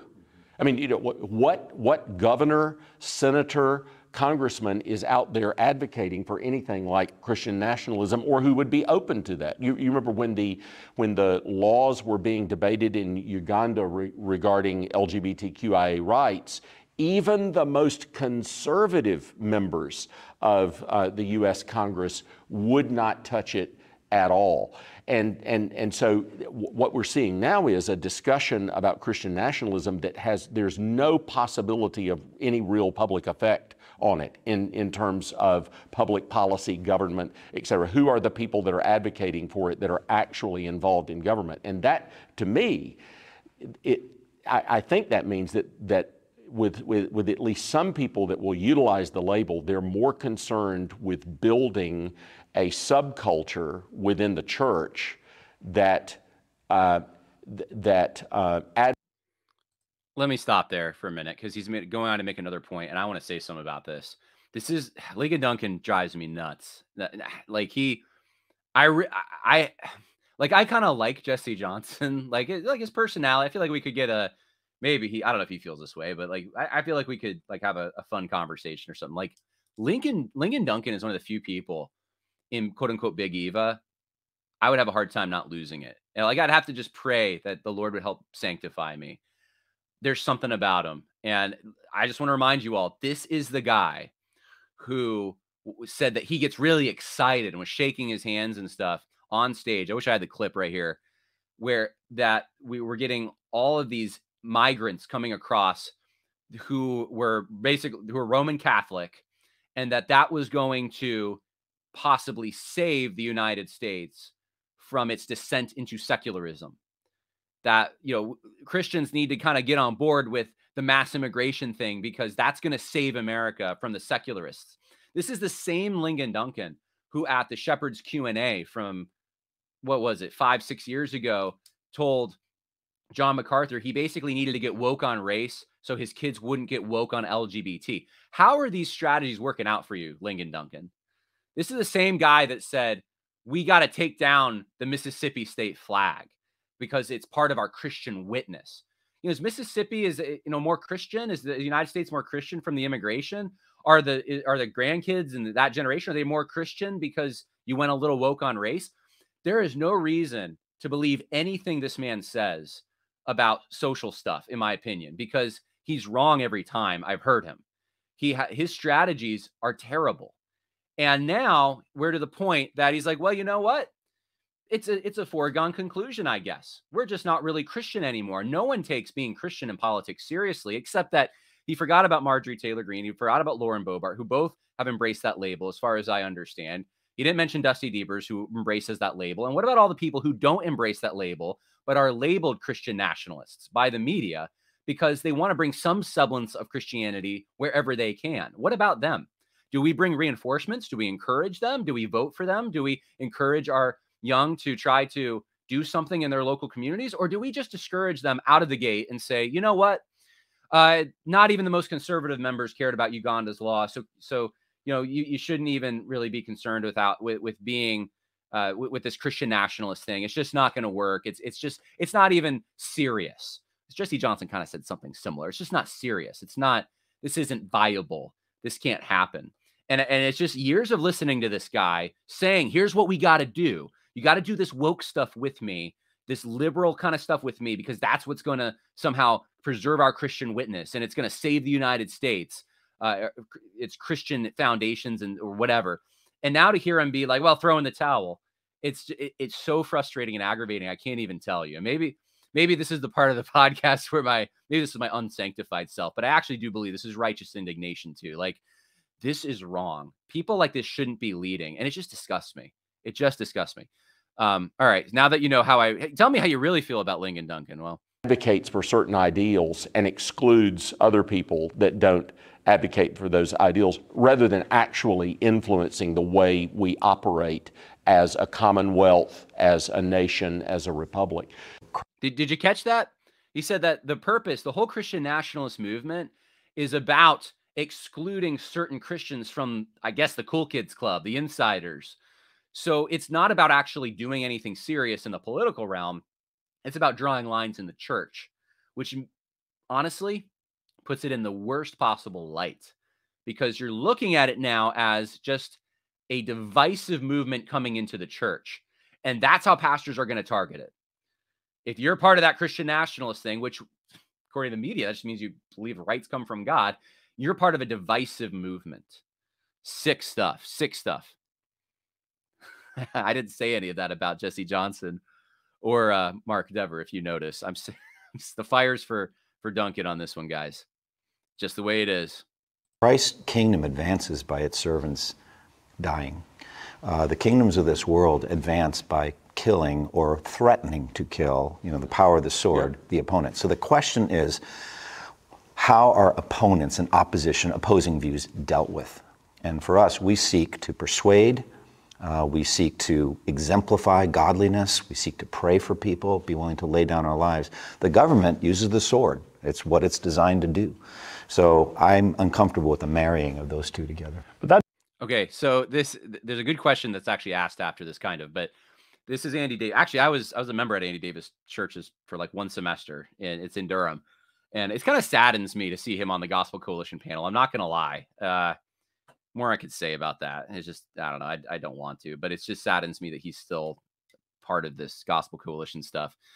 But you know, there he is saying that he doesn't like the wedding or the the the, the bringing together of church and state because uh, there's this, I guess, element of force and power and advancing the kingdom of God in ways that we're not supposed to. The we there is key. The we as Christians, we as Christians are supposed to advance the kingdom of God through uh, the not the sword, but through persuasion and the the word of God and witnessing and that kind of thing.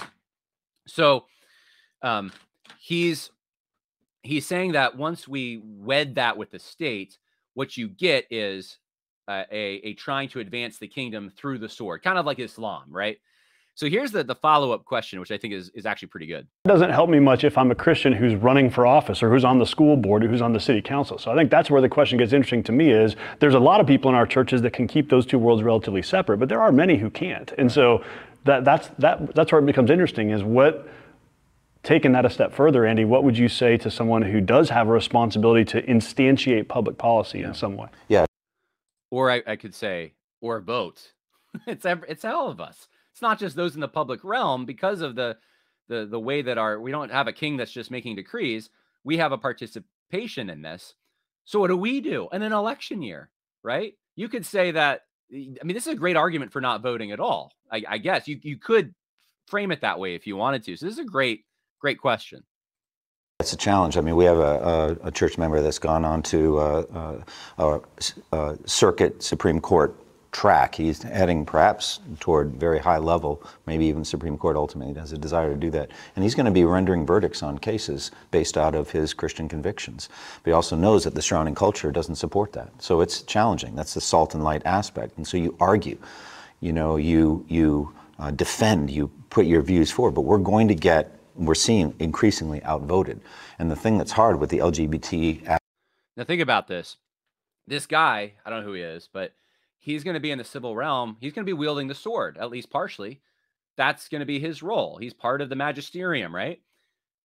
So suddenly now it's it's challenging.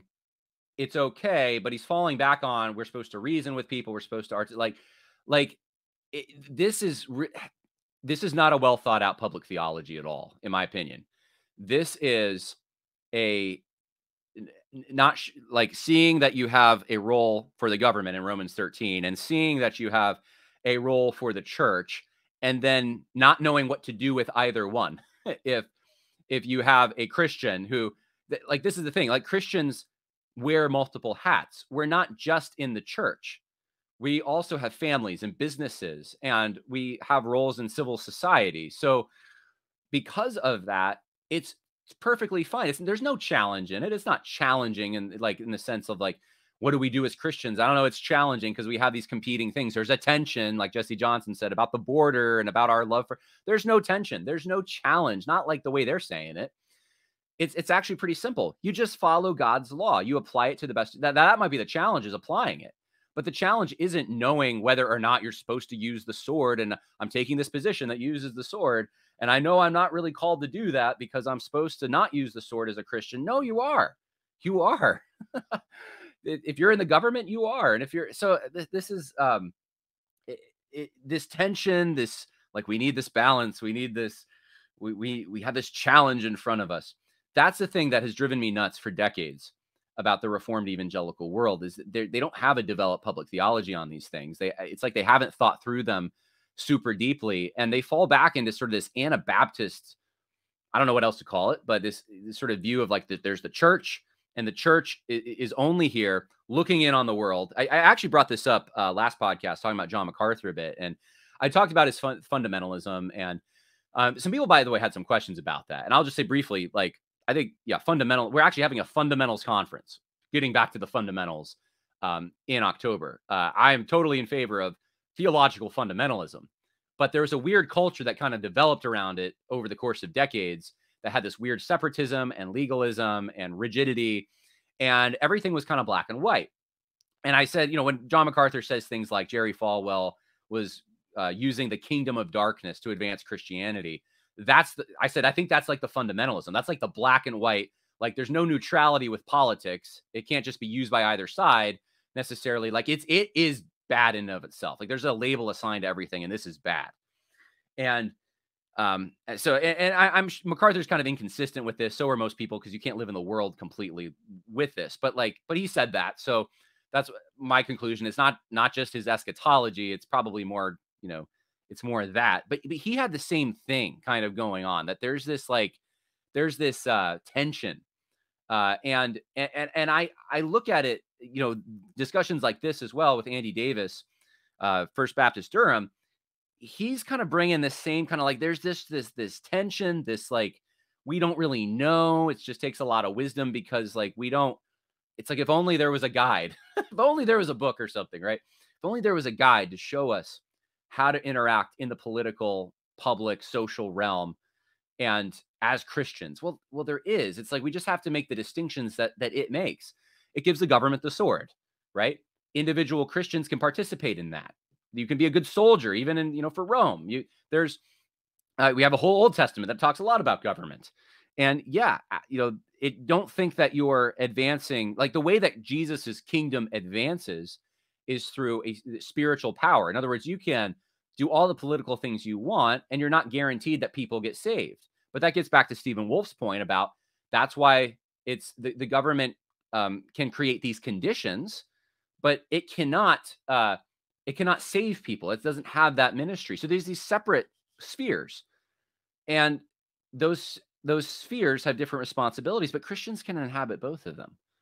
And it's not like you just have the church, like I said, out here, this sort of Anabaptist view that I see with a lot of these guys. And it's so separate, like the, you know, here's earthly existence in the temporal world. There's also a sense in which the church is actually here it's part of culture. It affects culture itself too. It's unavoidable. You walk into a church, uh, you walk into like a you know a, a, church like Grace Community Church in California. It's like walking into the 1950s a little bit. Like people are wearing you know suits and for you know music is is from a lot of it's from that era and the instrumentation and just the style and so it's there's a certain culture, sort of fundamentalist culture uh, from the, that era. You walk into you know an old anglican church you might feel like you're in medieval times and a lot of like or a lutheran church and a lot of the liturgy and everything it, it it's because the, in a certain way the church the visible church is also part of a culture and we have a hard time with that the anabaptists were the ones who, who make it so separate and and i think we need to get back to kind of like our our protestant roots the mainstream protestant roots which are that yes, the the church there's a there's an invisible church. There's also a visible church.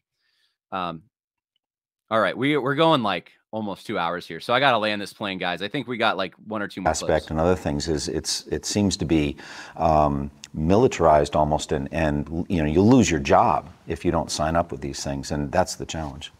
Think about our Christian view of how we relate to the civil magistrate, think about Christian liberty, and then think about how do we do this in a pluralistic society? Because a lot of the material that we look back to from our heroes is written from a time when it was not a pluralistic society. There was an established uh, church.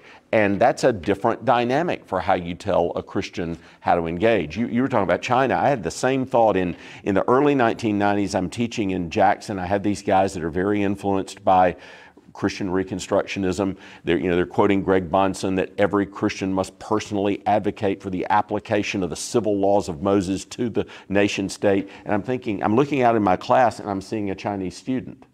And I'm going, okay, how does he do that? Even if he wanted to do that, how does he do that? You know, and so it's good to realize that Christians around the world are in very, very different political situations. And they've got different calculations to make in those different political situations. Prudential. So I would just say that doesn't mean that you don't like this is again the perfect being the enemy of the good. All right, you can't do everything. You're you're in San Francisco, right? You're not in Alabama, rural Alabama. You're in San Francisco. How do you do this there? Well, there's a lot of prerequisites that have to happen before you get to that point. It doesn't mean though that you shouldn't want to get to that point or you shouldn't be open to God using you to get to that point. But it just means that, yeah, you may like it, your involvement may be more uh, like you may not be able to accomplish all the things that you would like to accomplish. It may mean you only serve one term. It may mean you don't get elected. It may mean most of your time is going to be spent uh, doing more basic things like evangelizing and trying to make sure that there's a base to support a Christian candidate and that kind of thing.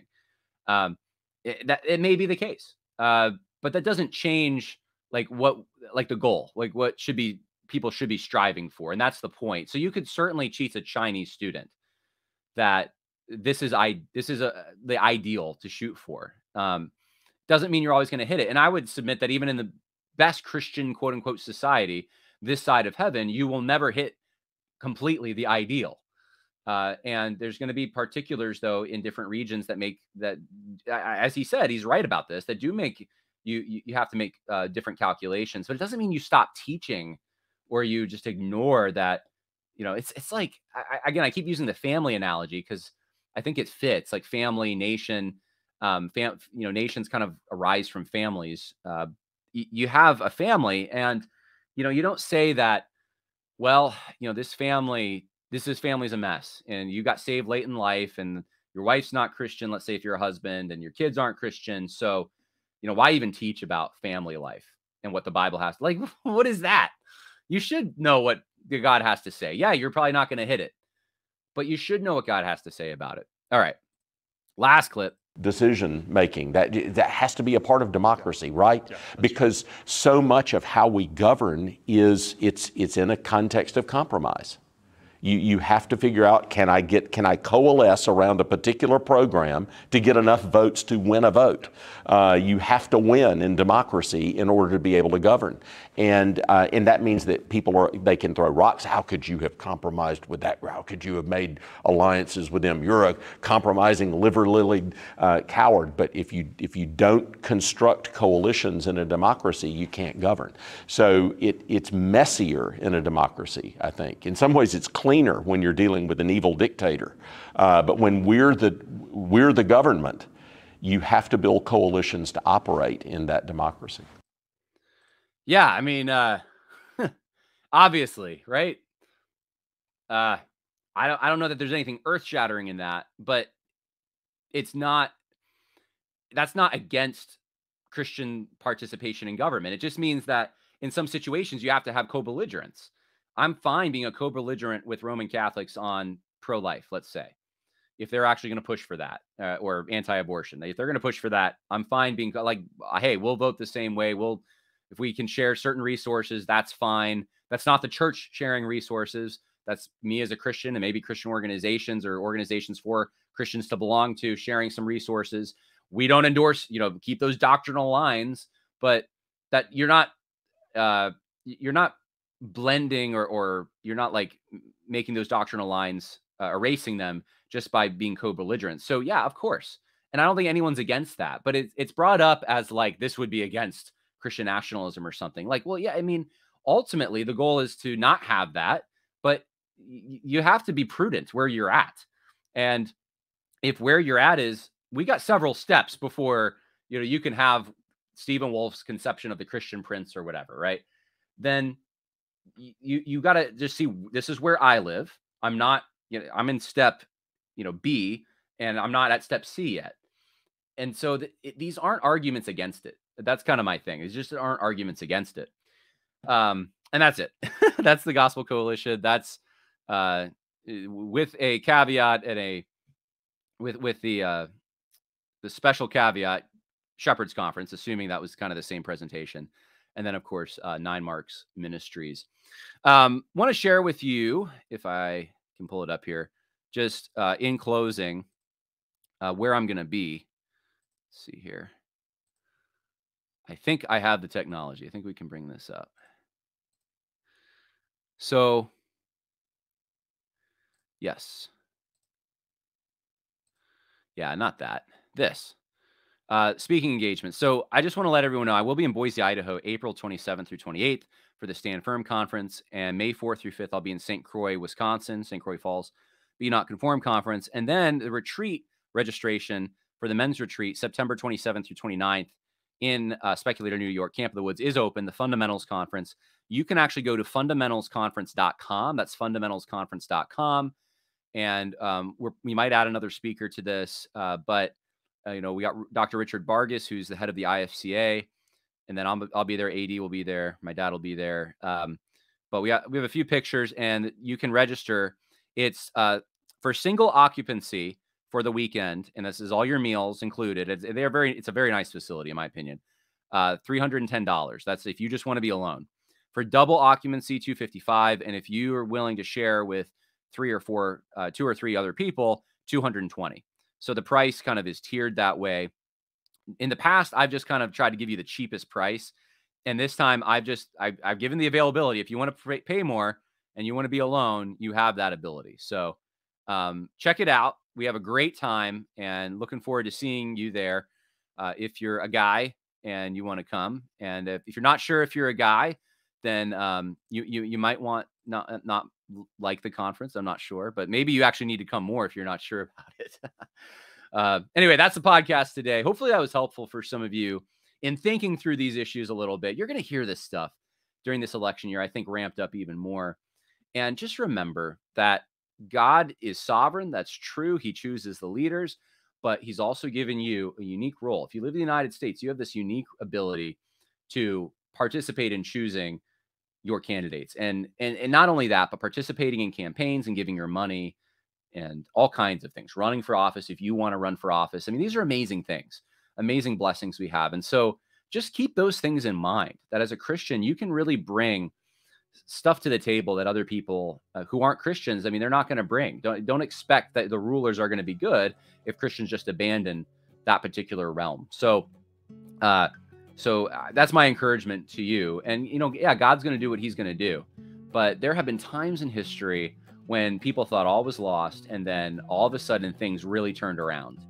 And I, I always bring up uh, the defeat of uh, the Ottoman Empire, you know, in um, the Siege of Vienna and how people thought like this was it for Europe. Islam was going to conquer Europe. And then uh, last minute, um, so General Soboyetsin comes with his winged hussars and turns the tide of the battle. And there's been many times like that in history where surprising things have happened. And so, hey, don't give up hope. Don't give up faith.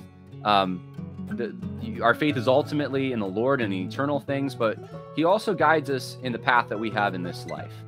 And uh, we, we should fear no evil. So that's my little pep talk. All right, God bless. And since that was so long, maybe maybe we'll wait till next week to have more podcasts. But more coming. Bye now.